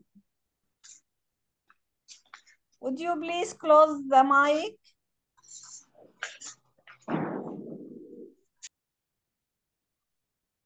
Okay can you see it here? Superficial layer. They said split, split and envelop the breast. Or invaginate and enclosing the breast. One behind and one anterior. Okay? But there is there is superficial and there is a deep fascial layer. The deep fascial is retromama is anterior mammary fascia and retromammary mammary fascia. Okay? Type. Yes. Okay. Uh, if we look for this illustration, we can see here, this is the glandular part in green. And this is stromal part, the connective tissue stroma or fibrous stroma the orange. خلاص, representing the Cooper ligament traversing from the skin to the back, to the deep fascia, to the pectoral, to the deep portion, I mean, to the pectoral fascia. Okay? This all throughout, it is the infrastructure of the breast. It is holding the breast. It is of varying amount between individuals. It is not same amount. These are sh uh, uh, sheets of compact stroma, connective tissue stroma, okay? We call it the Cooper ligaments, are dense, compact, as we mentioned. Appear opaque on mammography, soft tissue opaque. Unlike that loose intraductal, intra, eh, intralobular or periductal loose connective tissue stroma. As we mentioned, extend from the chest wall to the nipple and skin, or the reverse, from the skin going and support the breast to the chest wall. It secure the breast. And there is main bulk of the mammary gland is about is what?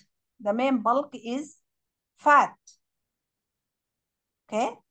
And interspersed between these stroma and in the anterior to the gland, we call it premammary and uh, posterior to retromammary. This is also fat and it has to be black. Okay, as we described before. So when these Cooper ligament thickened, the fat become opaque. To say increase breast density, look, you have to see the fat, areas of the fat is loosened. When we lose the lucency of the fat, then this breast, there is diffuse or global increased density along with thickening of the Cooper ligament and skin thickening, that means this is global breast edema. Hmm. Sometimes there are variations in the edema. Here, this is more global. Here, yes, it is global but asymmetric. There is more edema around the lesions than in the remain of the, of the breast. Asymmetric, the edema. So here more opaque than the remain. And the Cooper ligament more thick than here. And the skin, areolar skin and inferior portion of the breast is more thick than the remain of the breast.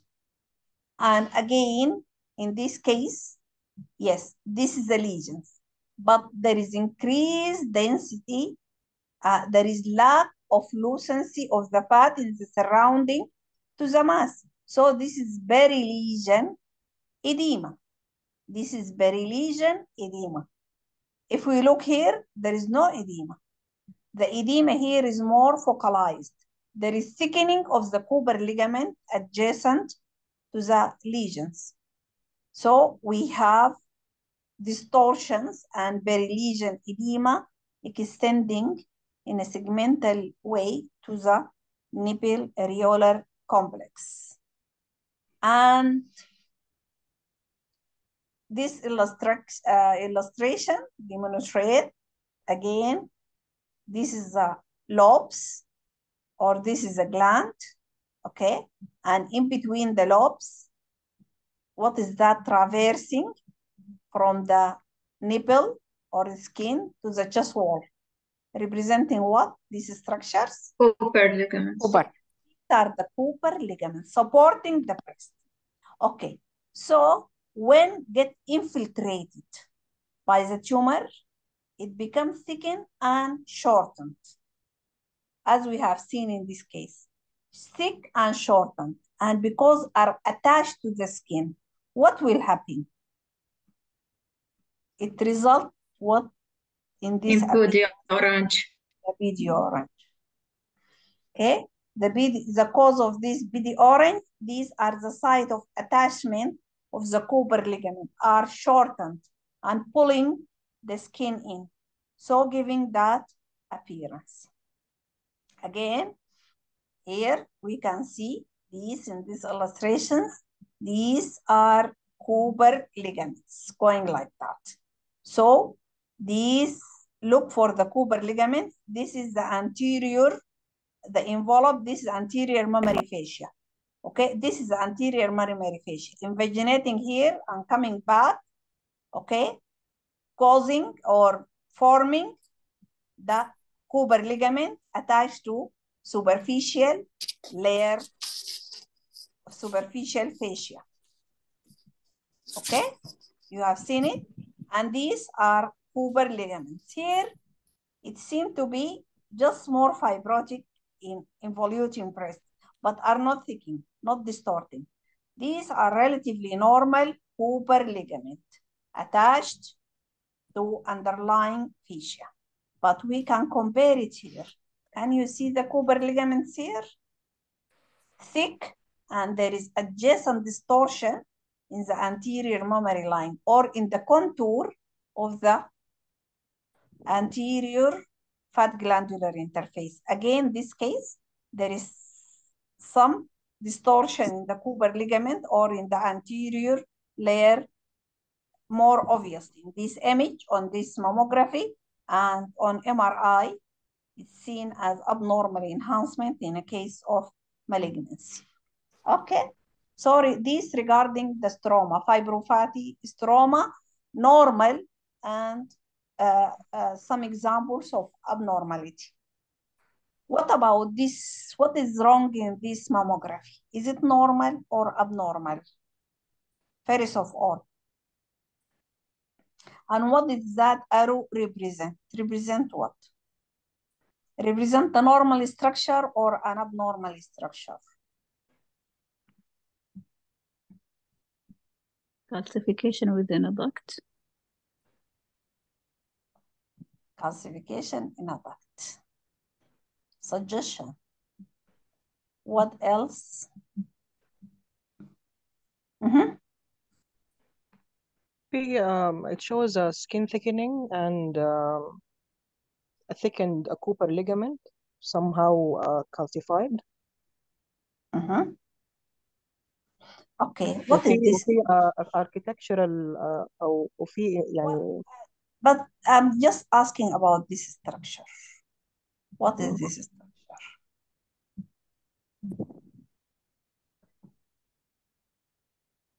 it's coming from the nipple لكن ما يعني it's not going uh, inside ال ال ال Excellent, Nauras. Excellent. Well done. Yes. Huh. is it like um uh, you Uh-huh. know developmental anomaly يعني ولا لأنه it shouldn't be here Mhm. Describe what you have seen. it's a tubular tubular structure Excellent. extending Tubular soft tissue structures Yes. Uh-huh. Uh-huh. Extending from the uh, nipple. Yeah, Uh, it is not ending here. It is coiled only. Coiled is on it. It is going. Okay, but here it seemed to be just larger and might be going like that. More superficial. You. It is like it is like this structure. Mhm. Huh? I'm trying Blood to help. vessel? Blood vessel? It is a vessel. Yes, that is a vessel. Okay. Yeah. And being so superficial, what do you think? Most likely Vein, thrombosed vein. It's a vein. uh, vein. Most probably vein. mhm. We are not familiar, yani, we are not usually looking for vessel abnormality on mammogram. Generally, we are looking on vascular structure or vascular abnormality on ultrasound. But this is a vascular structure. Okay, I agree with you if you said yes, going into the nipple, it might be a duct as a differential diagnosis, but not usually. The duct is parallel, is going parallel to the skin and coil like this and ending like this, and Yes, not even, and, and it is anterior to the glandular structure. Mhm. It- this is the anterior to fat glandular interface. Very unlikely to have a duct in the subcutaneous region. Yes. Uh, by locations, by locations, it seemed to be, is it a normal vessel? Is an enlarged vessel. Yes. Most probably this is an enlarged vessel. That is it. What we can see, we'll go for ultrasound to clarify and to do to put Doppler and to make sure what is that ves of uh, structures. Okay, and what about this?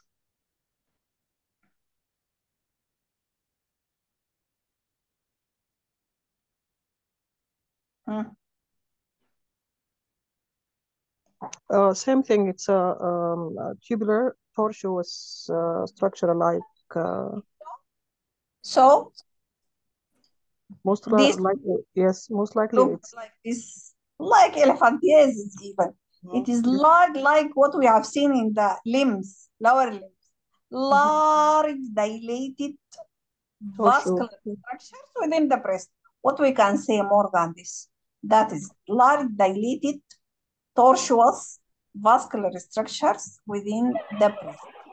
So Mondor, Mondor disease. what?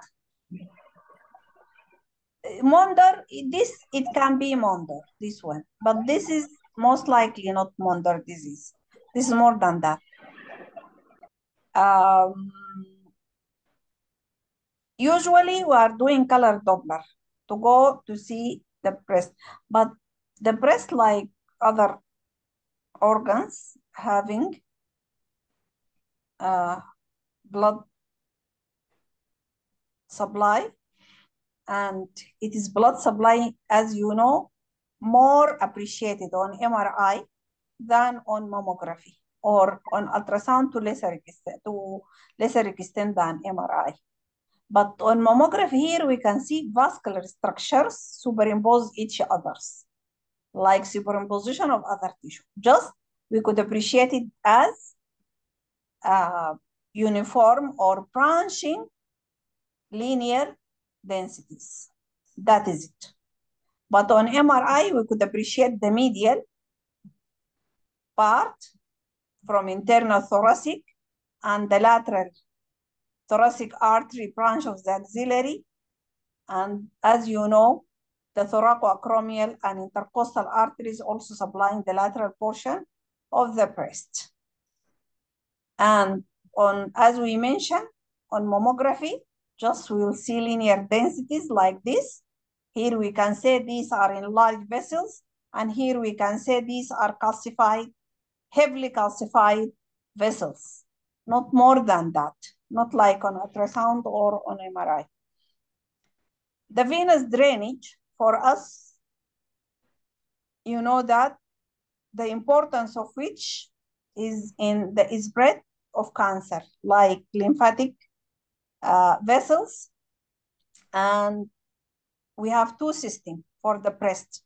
superficial and deep system. The superficial lie within, before talking about superficial, the deep system is straightforward, is a paired system, is a following the arterial system. This is a deep system. You see? Paired.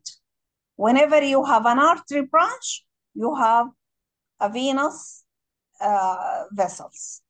This is a deep one. But the superficial one is unpaired. Okay? Is just a vein. And usually seen so superficial. Okay?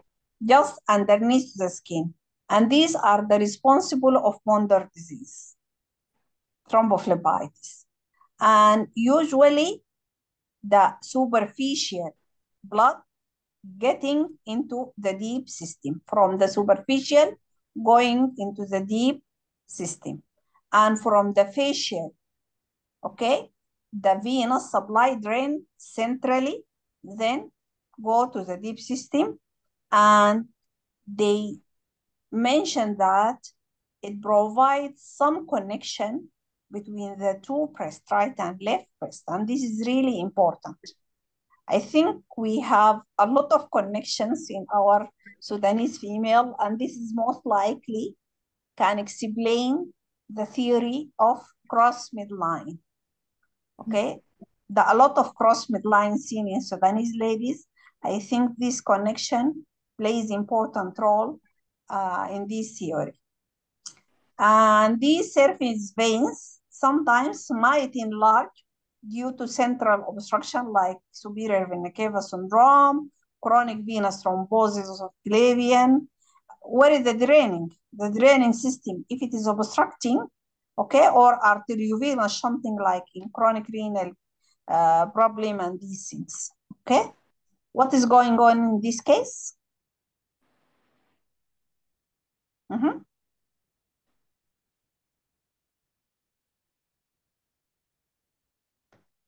I suggest that you are going like this. Yes. So just we said here, this can be enlarged in case of central obstructions. So this is an example. Look for the vessels. These are venous because they are so superficial and expected even deep to be engorged, to be enlarged because from superficial, it goes back into, uh, into the deepest system. So we have bilateral breast swelling and venous congestion due to central venous occlusion. This is an example of central venous occlusion. It is straightforward. It is both bilateral breast, okay, and superficial vessels. Look for the vessels. You can trace it just underneath to the skin both sides. But Being that deep vessels are also enlarged expected, but because the superficial are enlarged, that means this is the venous system. So uh, there is also uh, a plexus, important venous plexus called Batson plexus. This Batson plexus important why? It is a valveless vein connecting what the thoracic vein the deep pelvic vein to the internal vertebral venous plexus. So definitely it's going to, to, to get to do what? It's responsible for metastasis too. Metastasis. Metastasis, yes. It will be the root, the root for metastasis, transportation of metastasis and infection to the spine, to the brain, and to the skull and pelvic bone. That is why there is connections between the breast and the pelvis through this Batson plexus. Unlike any other organs, the breast have a nerve supply and it is from intercostal nerves responsible for sensory and automatic, uh, autonomic nerve fibers, but are not controlling the secretion of the milks. It is only related to hormones control. It's not related to nerve supply control. Lymphatic system, which is the most important. Why it is important? Why lymphatic system of the is important? It has What an important role in the spread of the uh, tumors. Mhm. Oh, Excellent. What else? Huh? Why it is important? and the edema in uh, and uh, drainage of uh, extra or excess fluid in case of Uh-huh. Uh, Mhm. inf inflammatory conditions and so on. Okay. Okay. Any other suggestion? You are right. Why lymphatic system is important? Why we have to understand the lymphatic drainage of the breast? management of uh, CA. There's uh, Excellent. Excellent. Yes, you are right. You are right. So, understanding of lymphatic great importance because lymphatic drainage has diagnostic and therapeutic implications for breast cancer. And the main prognostic factors. It is independent of size and for prediction of overall survival and prognostic free survival. And the lymph node involvement indicate that the tumor has achieved a metastatic capability. They said not all breast cancer uh, have the capability to spread into the body. But whenever you have seen lymph node involvement, it means that this breast cancer achieved a metastatic capability and considered as a systemic rather than local disease. And the assessment of nodal disease guide multidisciplinary treatment decision. Okay, and is now considered to be critical role in axillary imaging and modified the treatments or the modification of treatment is based on analysis of lymph node involvement. Okay, but this usually through what? Ultrasound, uh, uh, MRI or ultrasound guided biopsy. But though the full-field digital mammography and tomosynthesis are first modality for local staging of the breast cancer, the visualization of axillary lymph node is seen in only 50% of patients. Okay? And visualization really limited on mammography. It only demonstrates the lowest part of uh, lymph node groups, or mainly level one. And why these are important? If you look here, we can see what we have seen here. These are all at level one. And yani, with special views, you can see part of level two, but you cannot see definitely high group level three and so forth. And even sometimes level one, as in this case, you see here, you cannot even see the level one. Why these are important? Because we have what is called skip metastasis, seen in 5%. Sometimes cancer, yani usually the, the cancer, it has to go from the breast to level one, then level two, then level three. But in 5%, it might go directly to level two or interpectoral or, or to rarely to level three, escaping level one. And in this case, if we could not see it by imaging, uh, it, it will result in uh, bad management. And as you know, regarding the lymphatic drainage and for prognostic and staging purposes, they divide the group, the axillary lymph node into three groups. Previously, they mentioned uh, five groups. At level one, anterior, posterior, lateral, and um, then central, then apical. But now they make it a little bit simple all the the anterior, posterior, and lateral, they group it. They are they are seen below and lateral to the pectoralis minor muscles, and they consider it as level one lymph node group. And posterior to the pectoralis mi- minor, as you have seen here in cross sections, posterior to the pectoralis minor, they call it level two. And at level three, it's seen superior and medial to the pectoralis minor, up to the clavicles. You see? And if it is seen uh, between the pectoralis minor and major, they consider it as a special group. They call it a Rotter's node. And as a radiologist, usually these groups, we could not see it on mammography. What we have seen, if you look here, this is the pectoralis minor. What we have seen is below the pectoralis minor, which are only level one or part of level one.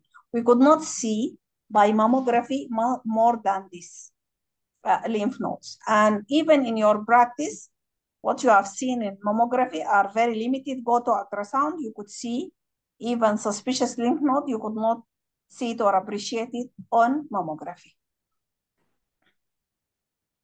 And as we have seen here, this is obviously thin cortex, abundant fatty hilum, bilateral, uh, level one, axillary, normal axillary lymph node.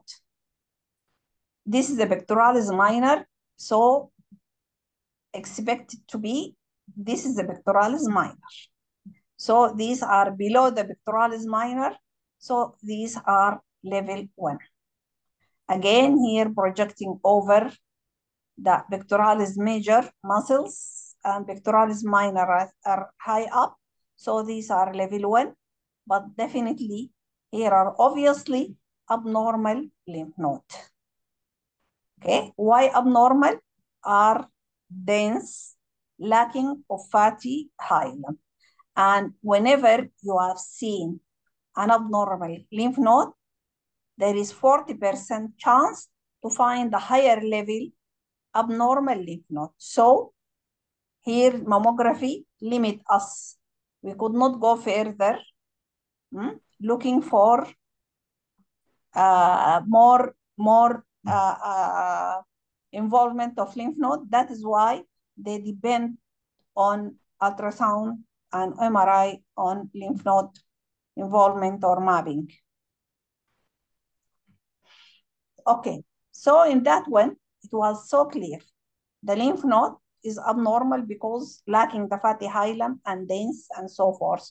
Here, this is obviously large, but it is normal lymph node because there is thin cortex and abundant fatty hilum.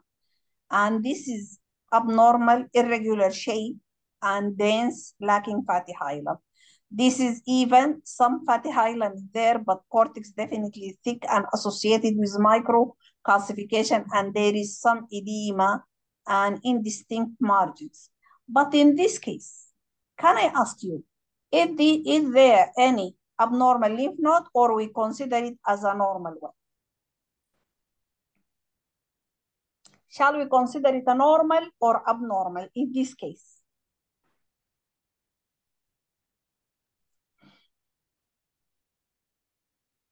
Hmm? To me, the uh, the left uh, breast uh, lymph nodes are enlarged and uh, somehow dense. I will consider it abnormal. In the right breast, they are small in Because, size. in, but because it is enlarged, we consider it abnormal. This is more. This is dense. larger. Enlarged This is dense. larger than this. Enlarged and dense. I'm talking about the left breast. Fatty This is- hilum. Okay, this is abundant fatty hilum. Uh, This is this is a, a one uh, one lymph node. this is one lymph node. Okay, then this is a fatty hilum indeed. Yeah. Uh-huh. So you'll consider it normal. Yeah. You are not happy. I'm not I know happy. that. I know that, Nauros, you are not happy. I am not to be honest. I'm Focal like, cortical thickening. Or I am, thickening. uh, yes, excellent. I'm like you. This, Focal cortical case thickening. normal. This is my, my patients. This case, my patients. And from this, ex- from this mammography, I report this as a suspicious lymph node. You see? Mhm. The, this is suspicious. Where is, where is the pathology in the breast? Can you see it? It was very subtle, was occult, but that was metastatic lymph node because of this asymmetric dense cortical thickening. I want from you, you believe on this lymph node is dense. Tell me, it is the density or the dense is the, is the asymmetric cortical thickening. If you compare yeah. this cortex with this cortex here, definitely Asymmetry, yeah. Focal cortical denser. thickening. I agree with you. This is dense asymmetric cortical thickening, and that was a metastatic lymph node, and the cancer is this here. Mhm. That was the cancer. Very subtle.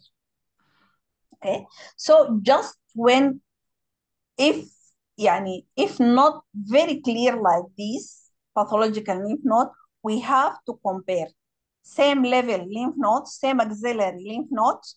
If one lymph node is disproportionately large or dense or demonstrate any subtle finding compared to the remaining of the group or compared to the contralateral, then it will be alarming signs Mhm. and we have to consider it and we eva- should evaluate the, the, the lymph node by ultrasound.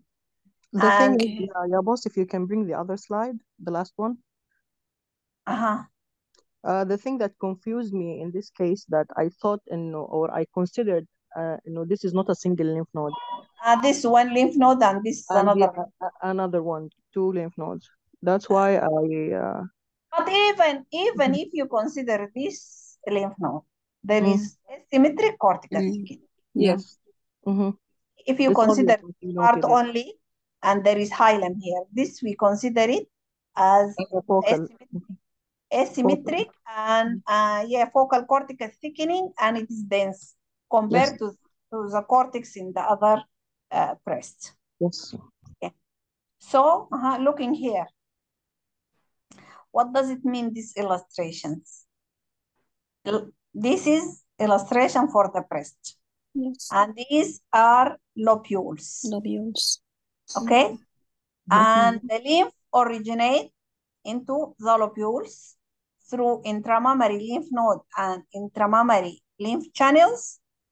It will, from the deeper portion of the breast going into the skin, then into subareolar or Sappey's plexus. And from the Sappey's plexus, then it will go to the axilla. So what do what is the clinical significance of that? Going from the deep into the skin and subareolar. Then going into the axilla. Clinical significance. Uh, retroalveolar masses can spread early to the lymph nodes. Excellent, well done. Even superficial, any retroareolar and superficial lesion, because from the skin directly, the superficial portion directly to the su- subareolar, and from subareolar directly to the axilla. But if you have any borderline lymph node and you have a superficial lesion, okay, or subareolar region, then you have to put a needle and evaluate that or examine the lymph node pathologically to make sure it is not uh, because the it, it is a predictive locations.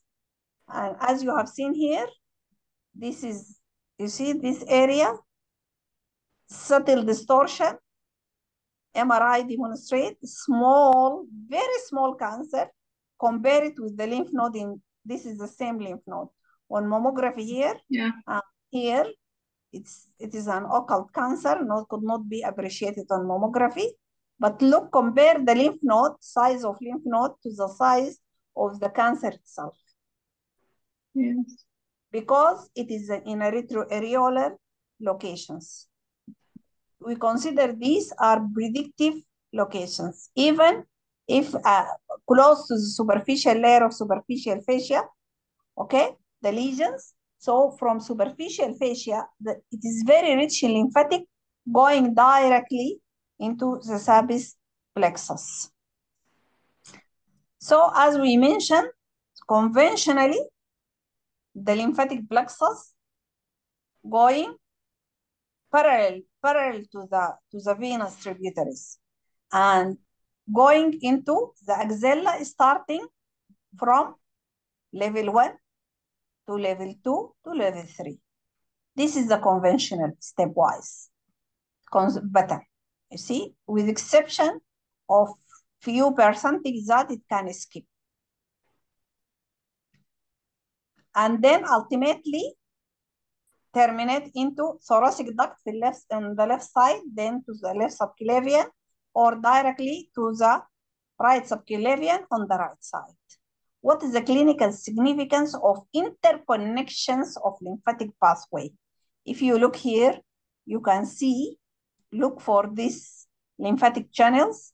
Yes, here going from, from deep to superior, from superior going to the axilla. But if you look here, you can see some interconnection. What is the significance of these few interconnections? The spread of the disease between uh, two breasts, from one breast to the contralateral one. Okay, one issue. But before that, so Escape they have to like put one- when they are doing, they are Mhm. doing one. If you have done examination and you could not see uh, clinically uh, abnormal lymph node, pathological lymph node. Clinically, it means by physical examination, by ultrasound, or by imaging. You could not appreciate any pathological lymph node. So they have to do what? To make sure that, MRI. huh? MRI. there is nothing on MRI. So the, the, the, the surgeon will go for? PET scan.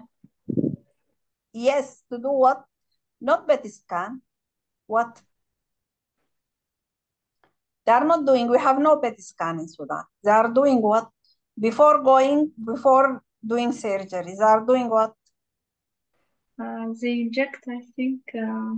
Aywa, yes, you are right. Inject uh-huh. inject dye or or inject uh, mhm, even technetium. Mhm. آه، 99 نسيت إنك أو حاجة زي دي أيوة بعدها بياخد Yes. صور Yes, blue ink, uh-huh. So we call it what? What do we call that? To see what? طيب? To see what? to see the drainage and within the lymph node. To see the sentinel node. Mm. Which one? Which one? The sentinel node. Excellent. Sentinel lymph node. What is sentinel lymph node? Yeah, the first node that uh, the drains uh, Drain, are affected by yes. cancer. Yes. So sentinel node may be located outside the axilla. That this is the clinical significance. I ask the interconnections because there is some interconnections. So it is rare, but it can occur. As we mentioned there, we said there is a skip metastasis seen in up to 5% of patients. The, the, the passage, it will not be direct to the first, to the level one, then level two, then going, uh, yani, يعني going stepwise pattern in stepwise pattern from level 1 level 2 level 3 to supraclav like that. No. It skipped that level due to this interconnection. It might go to the other way. Might go to level 3 or supraclav directly. Or going to internal mammary, or going to abdominal lymph nodes. Or going to contralateral. Okay? So then in this case they have to put in their mind that this patient might, the sentinel lymph node might be outside the axilla. And it is the first lymph node drain the breast. Okay? It can be one or two lymph nodes, yani not necessarily a single lymph nodes. And usually when they give a dye or a radio uh, isotope and then examine that lymph node and they found the dye or found the, the uh, isotope reaches that lymph node, they remove it and examine it for prediction of the metastasis. Okay. And they said that the drainage observed in the supraclav, in infraclav, inter, uh, interpectoral lymph node, it might go directly to, through the pectoralis muscle into the interpectoral lymph node, uh, bypassing the first group or the level one group of lymph node. Okay? Or to the internal mammary or intramammary lymph node. And as you know, the, in, the lymph node of interest are axillary, intramammary lymph node, axillary node, Rotter's node in, in the axilla, and supraclav, parasternal or internal mammary lymph node, retromammary lymph node, and the alternative routes. When that when the main routes blocked, the lymph might shift it to the opposite breast or to the cervical lymph node, to diaphragmatic or to rectus sheath node into peritoneal cavity.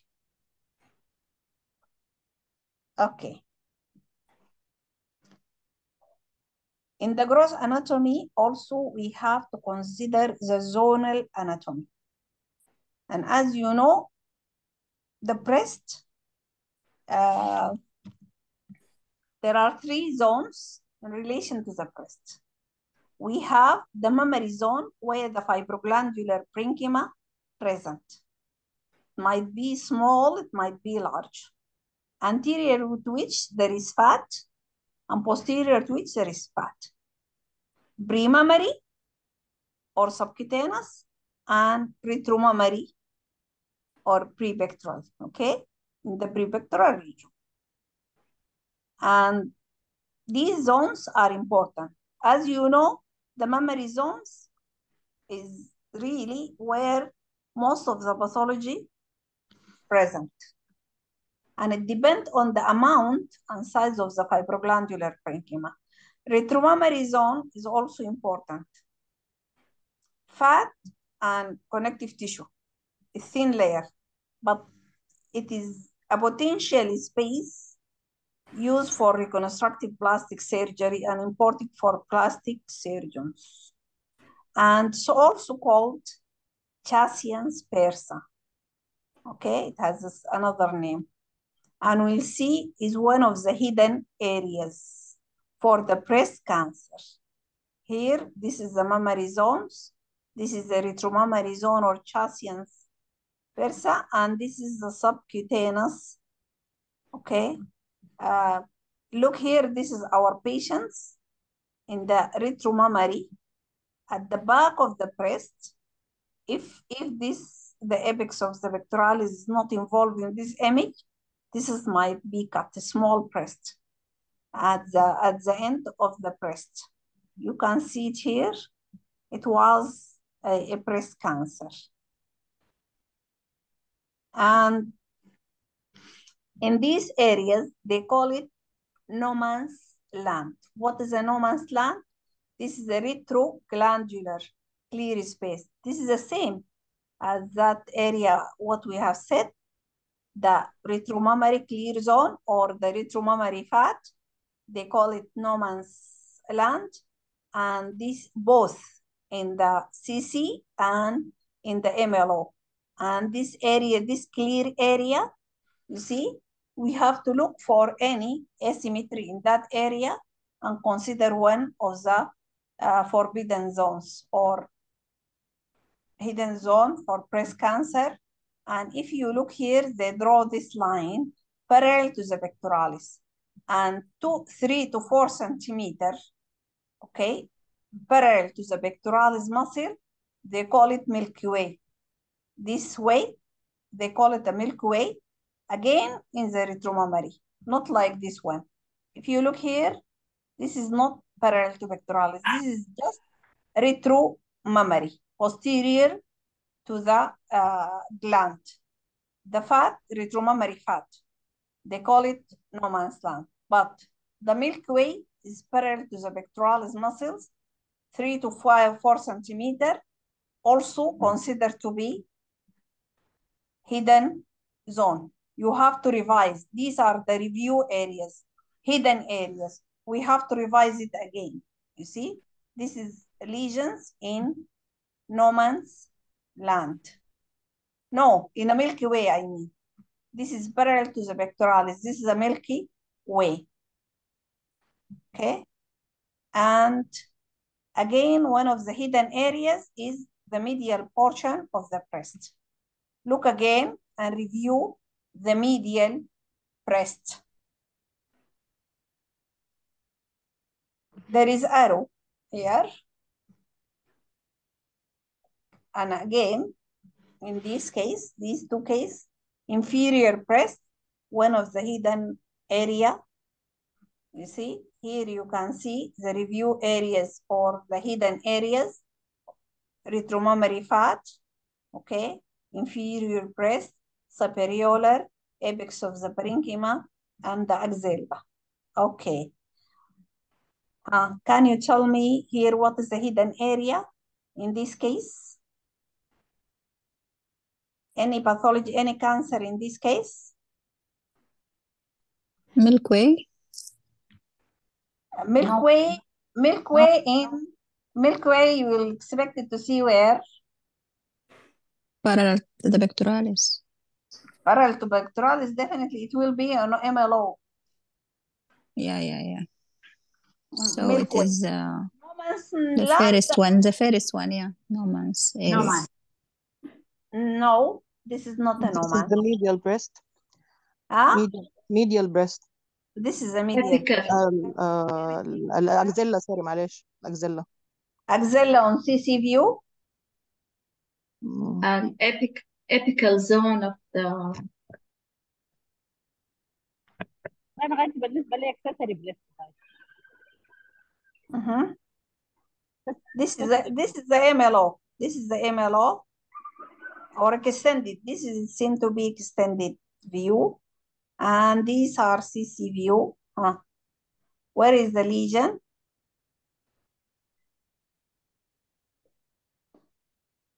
You cannot expect it. There are very subtle, very, very, very subtle. Not obvious. You are talking about this, this intramammary lymph node. Yeah. pre-mammary area ال- inf- inferior the inferior Uh-huh. Can you see it now? Where is the cancer? ah, retroareolar. Retroareolar. You see it? We can see the Can you see it? Mhm. yes now I can see it Can you see it? That is Yes. the one. That is the one. Mhm. Mhm. Look at it here on MRI. This is the same patient on ultrasound and on MRI. So be aware of retroareolar region. Be aware of it. Mom Review it again. Review it again and again. And look here. This is where. This is where. I put for This you again the line. which one? Milky line. No. This yes the consider it one. anterior apical part of the parenchyma The epic, أيوة, the apex of the parenchyma. This is Mhm. the apex. Be sure or be aware about the apex of the parenchyma. Compare it with the contralateral. Mhm. This is only asymmetry, and it was a cancer. That was a cancer. And here, can you see it here? This is five years pr- prior. Look for the contour, concave contour of fat glandular interface. Here, there is a little filling, very subtle, after one year. Bulge. And this is the follow-up. Look, it becomes convex. Mhm. On a spot, does not spread away, it's still convex. though it looks like the same parenchyma, but it is convex. But look here, the area there is fat. Now start to become the area relatively dense and change in contour. Very subtle, look at it on ultrasound. You have to be aware about the contour. Okay, the parenchymal contour. Can you see it here? Again, look Mhm. for contour. There is very subtle distortion in the contour and asymmetry. This is the same here. You see? Some distortion again at the contour. Here superiorly and here the same lesion is posteriorly. So the breast contour is, has to be like this, like this. Any asymmetry or any distortion in the contour, you have to think about it. Look here, this is prior and this is now. Look at this area, there is filling here in the contour and that was a cancer. Huh. Can you see here? Again, some subtle distortion in the contour with asymmetry. There is focal asymmetry. If you compare here this area with this area and here, there is asymmetry, focal asymmetry, and distortion in the contour. Dense lymph node. Again, here, this is the no man's land or retromammary fat. There is another area of asymmetry and distortion. And here, look, in the medial crest, there is compared, there is asymmetry, and there is diffuse edema and some skin thickening. All are subtle, but multicentric cancer. So zonal anatomy is important. And they found what? They found that 75% in women or premenopausal women having relatively denser breast, they found cancer that in a zone just one centimeter beneath the subcutaneous and retromammary fat. If you draw, if you draw like this, this is the mammary zone, like this, okay? So this is retromammary, retro uh, subcutaneous fat, and this is retromammary fat. Just go for one centimeter surrounding the mammary zone looking for cancer within these portions. You will find something abnormal. Can you see it here at the periphery? And I think, I don't know, I, I found that while we are studying the uh, uh, lobular differentiation in the during puberty.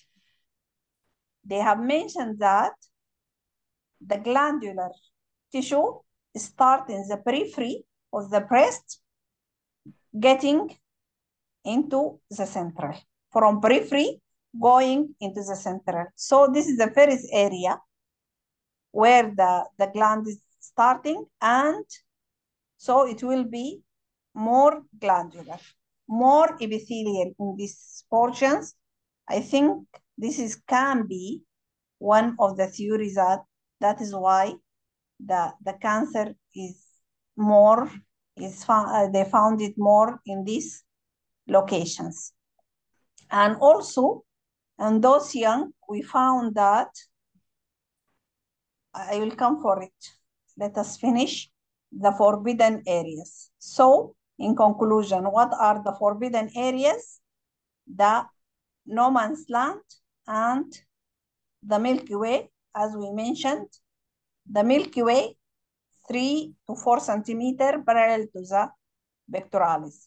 And no man's land, just retromammary fat. So both represent the same.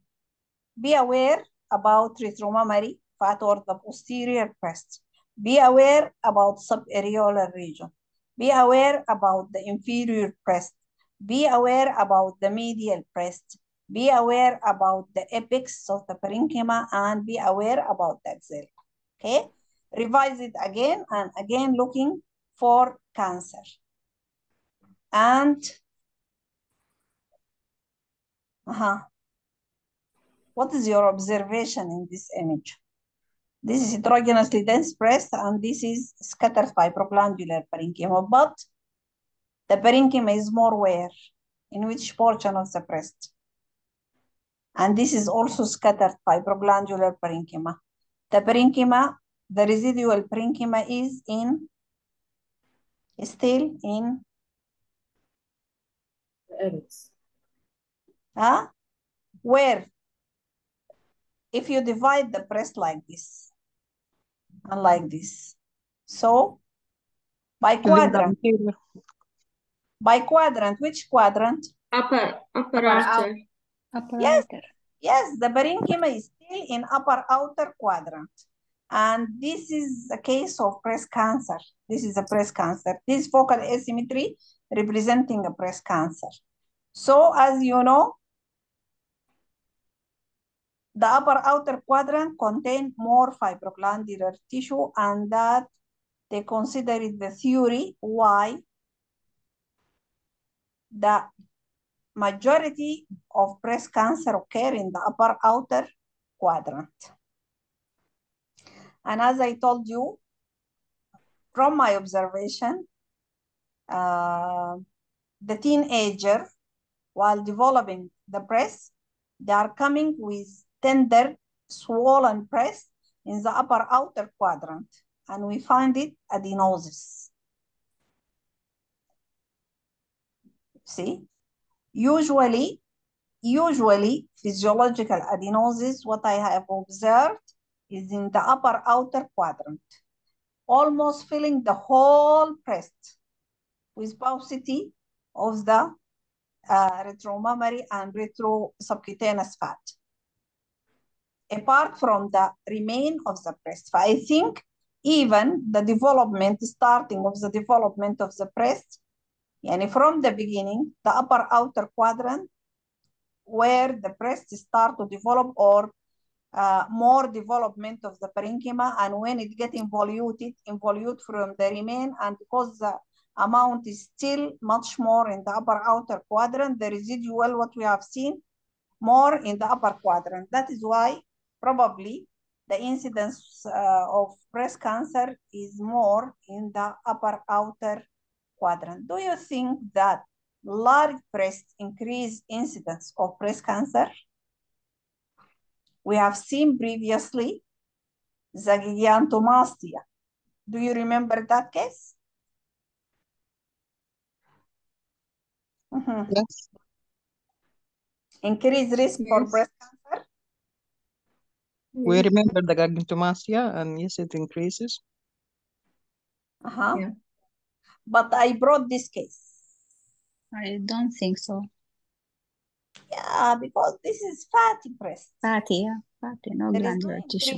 Yeah. Whenever, he- whenever the dense breast or the more glandular breast, there is more The, the more risk. for those who have uh, those who have um, uh, what we call it uh, during puberty. We said juvenile hypertrophy.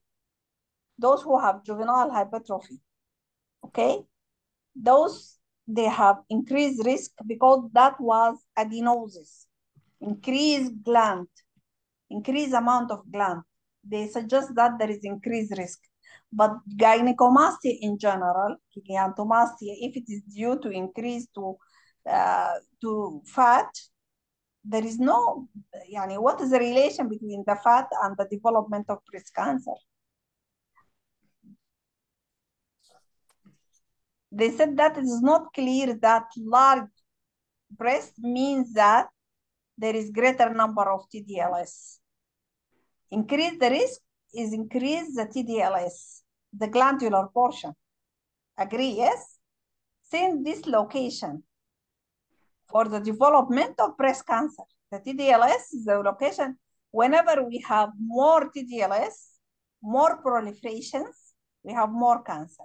If we have more gland, we have more cancer.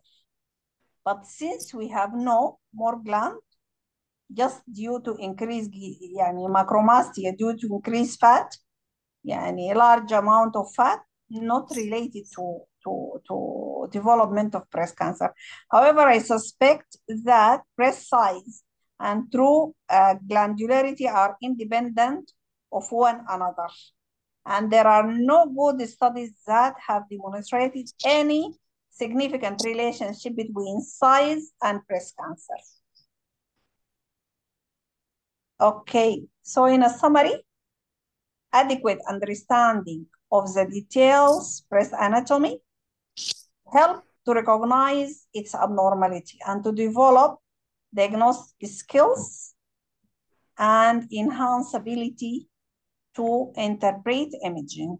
And breast imaging primarily involves the assessment of the morphology and macroscopically visible breast structures as uh, although different process may produce similar imaging morphological findings, rather than just searching for pattern, the radiologist has to understand the underlying process that produces morphological changes, okay, in various imaging studies, and ideally the interpreter should able to explain why uh, using specific criteria why a finding is judged benign or potentially malignant. We have to tell them.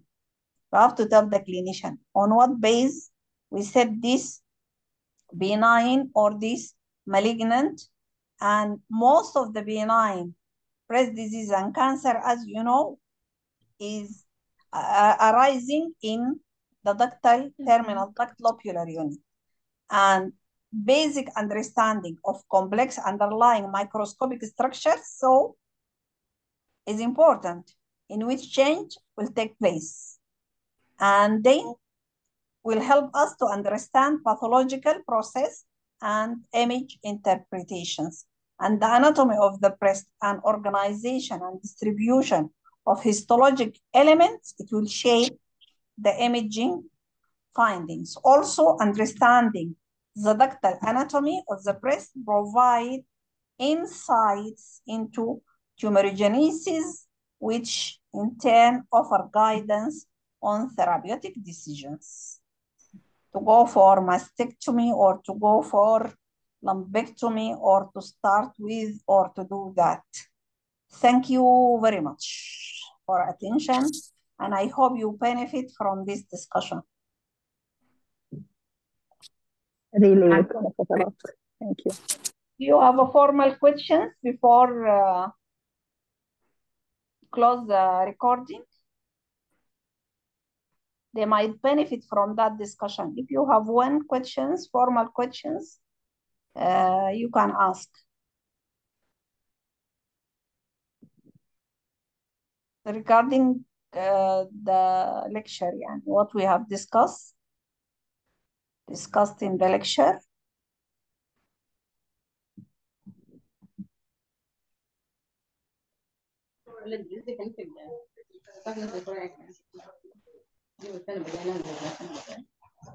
Mhm. Asma, Asma Muhammad, would you please close your mic? Do you have a question?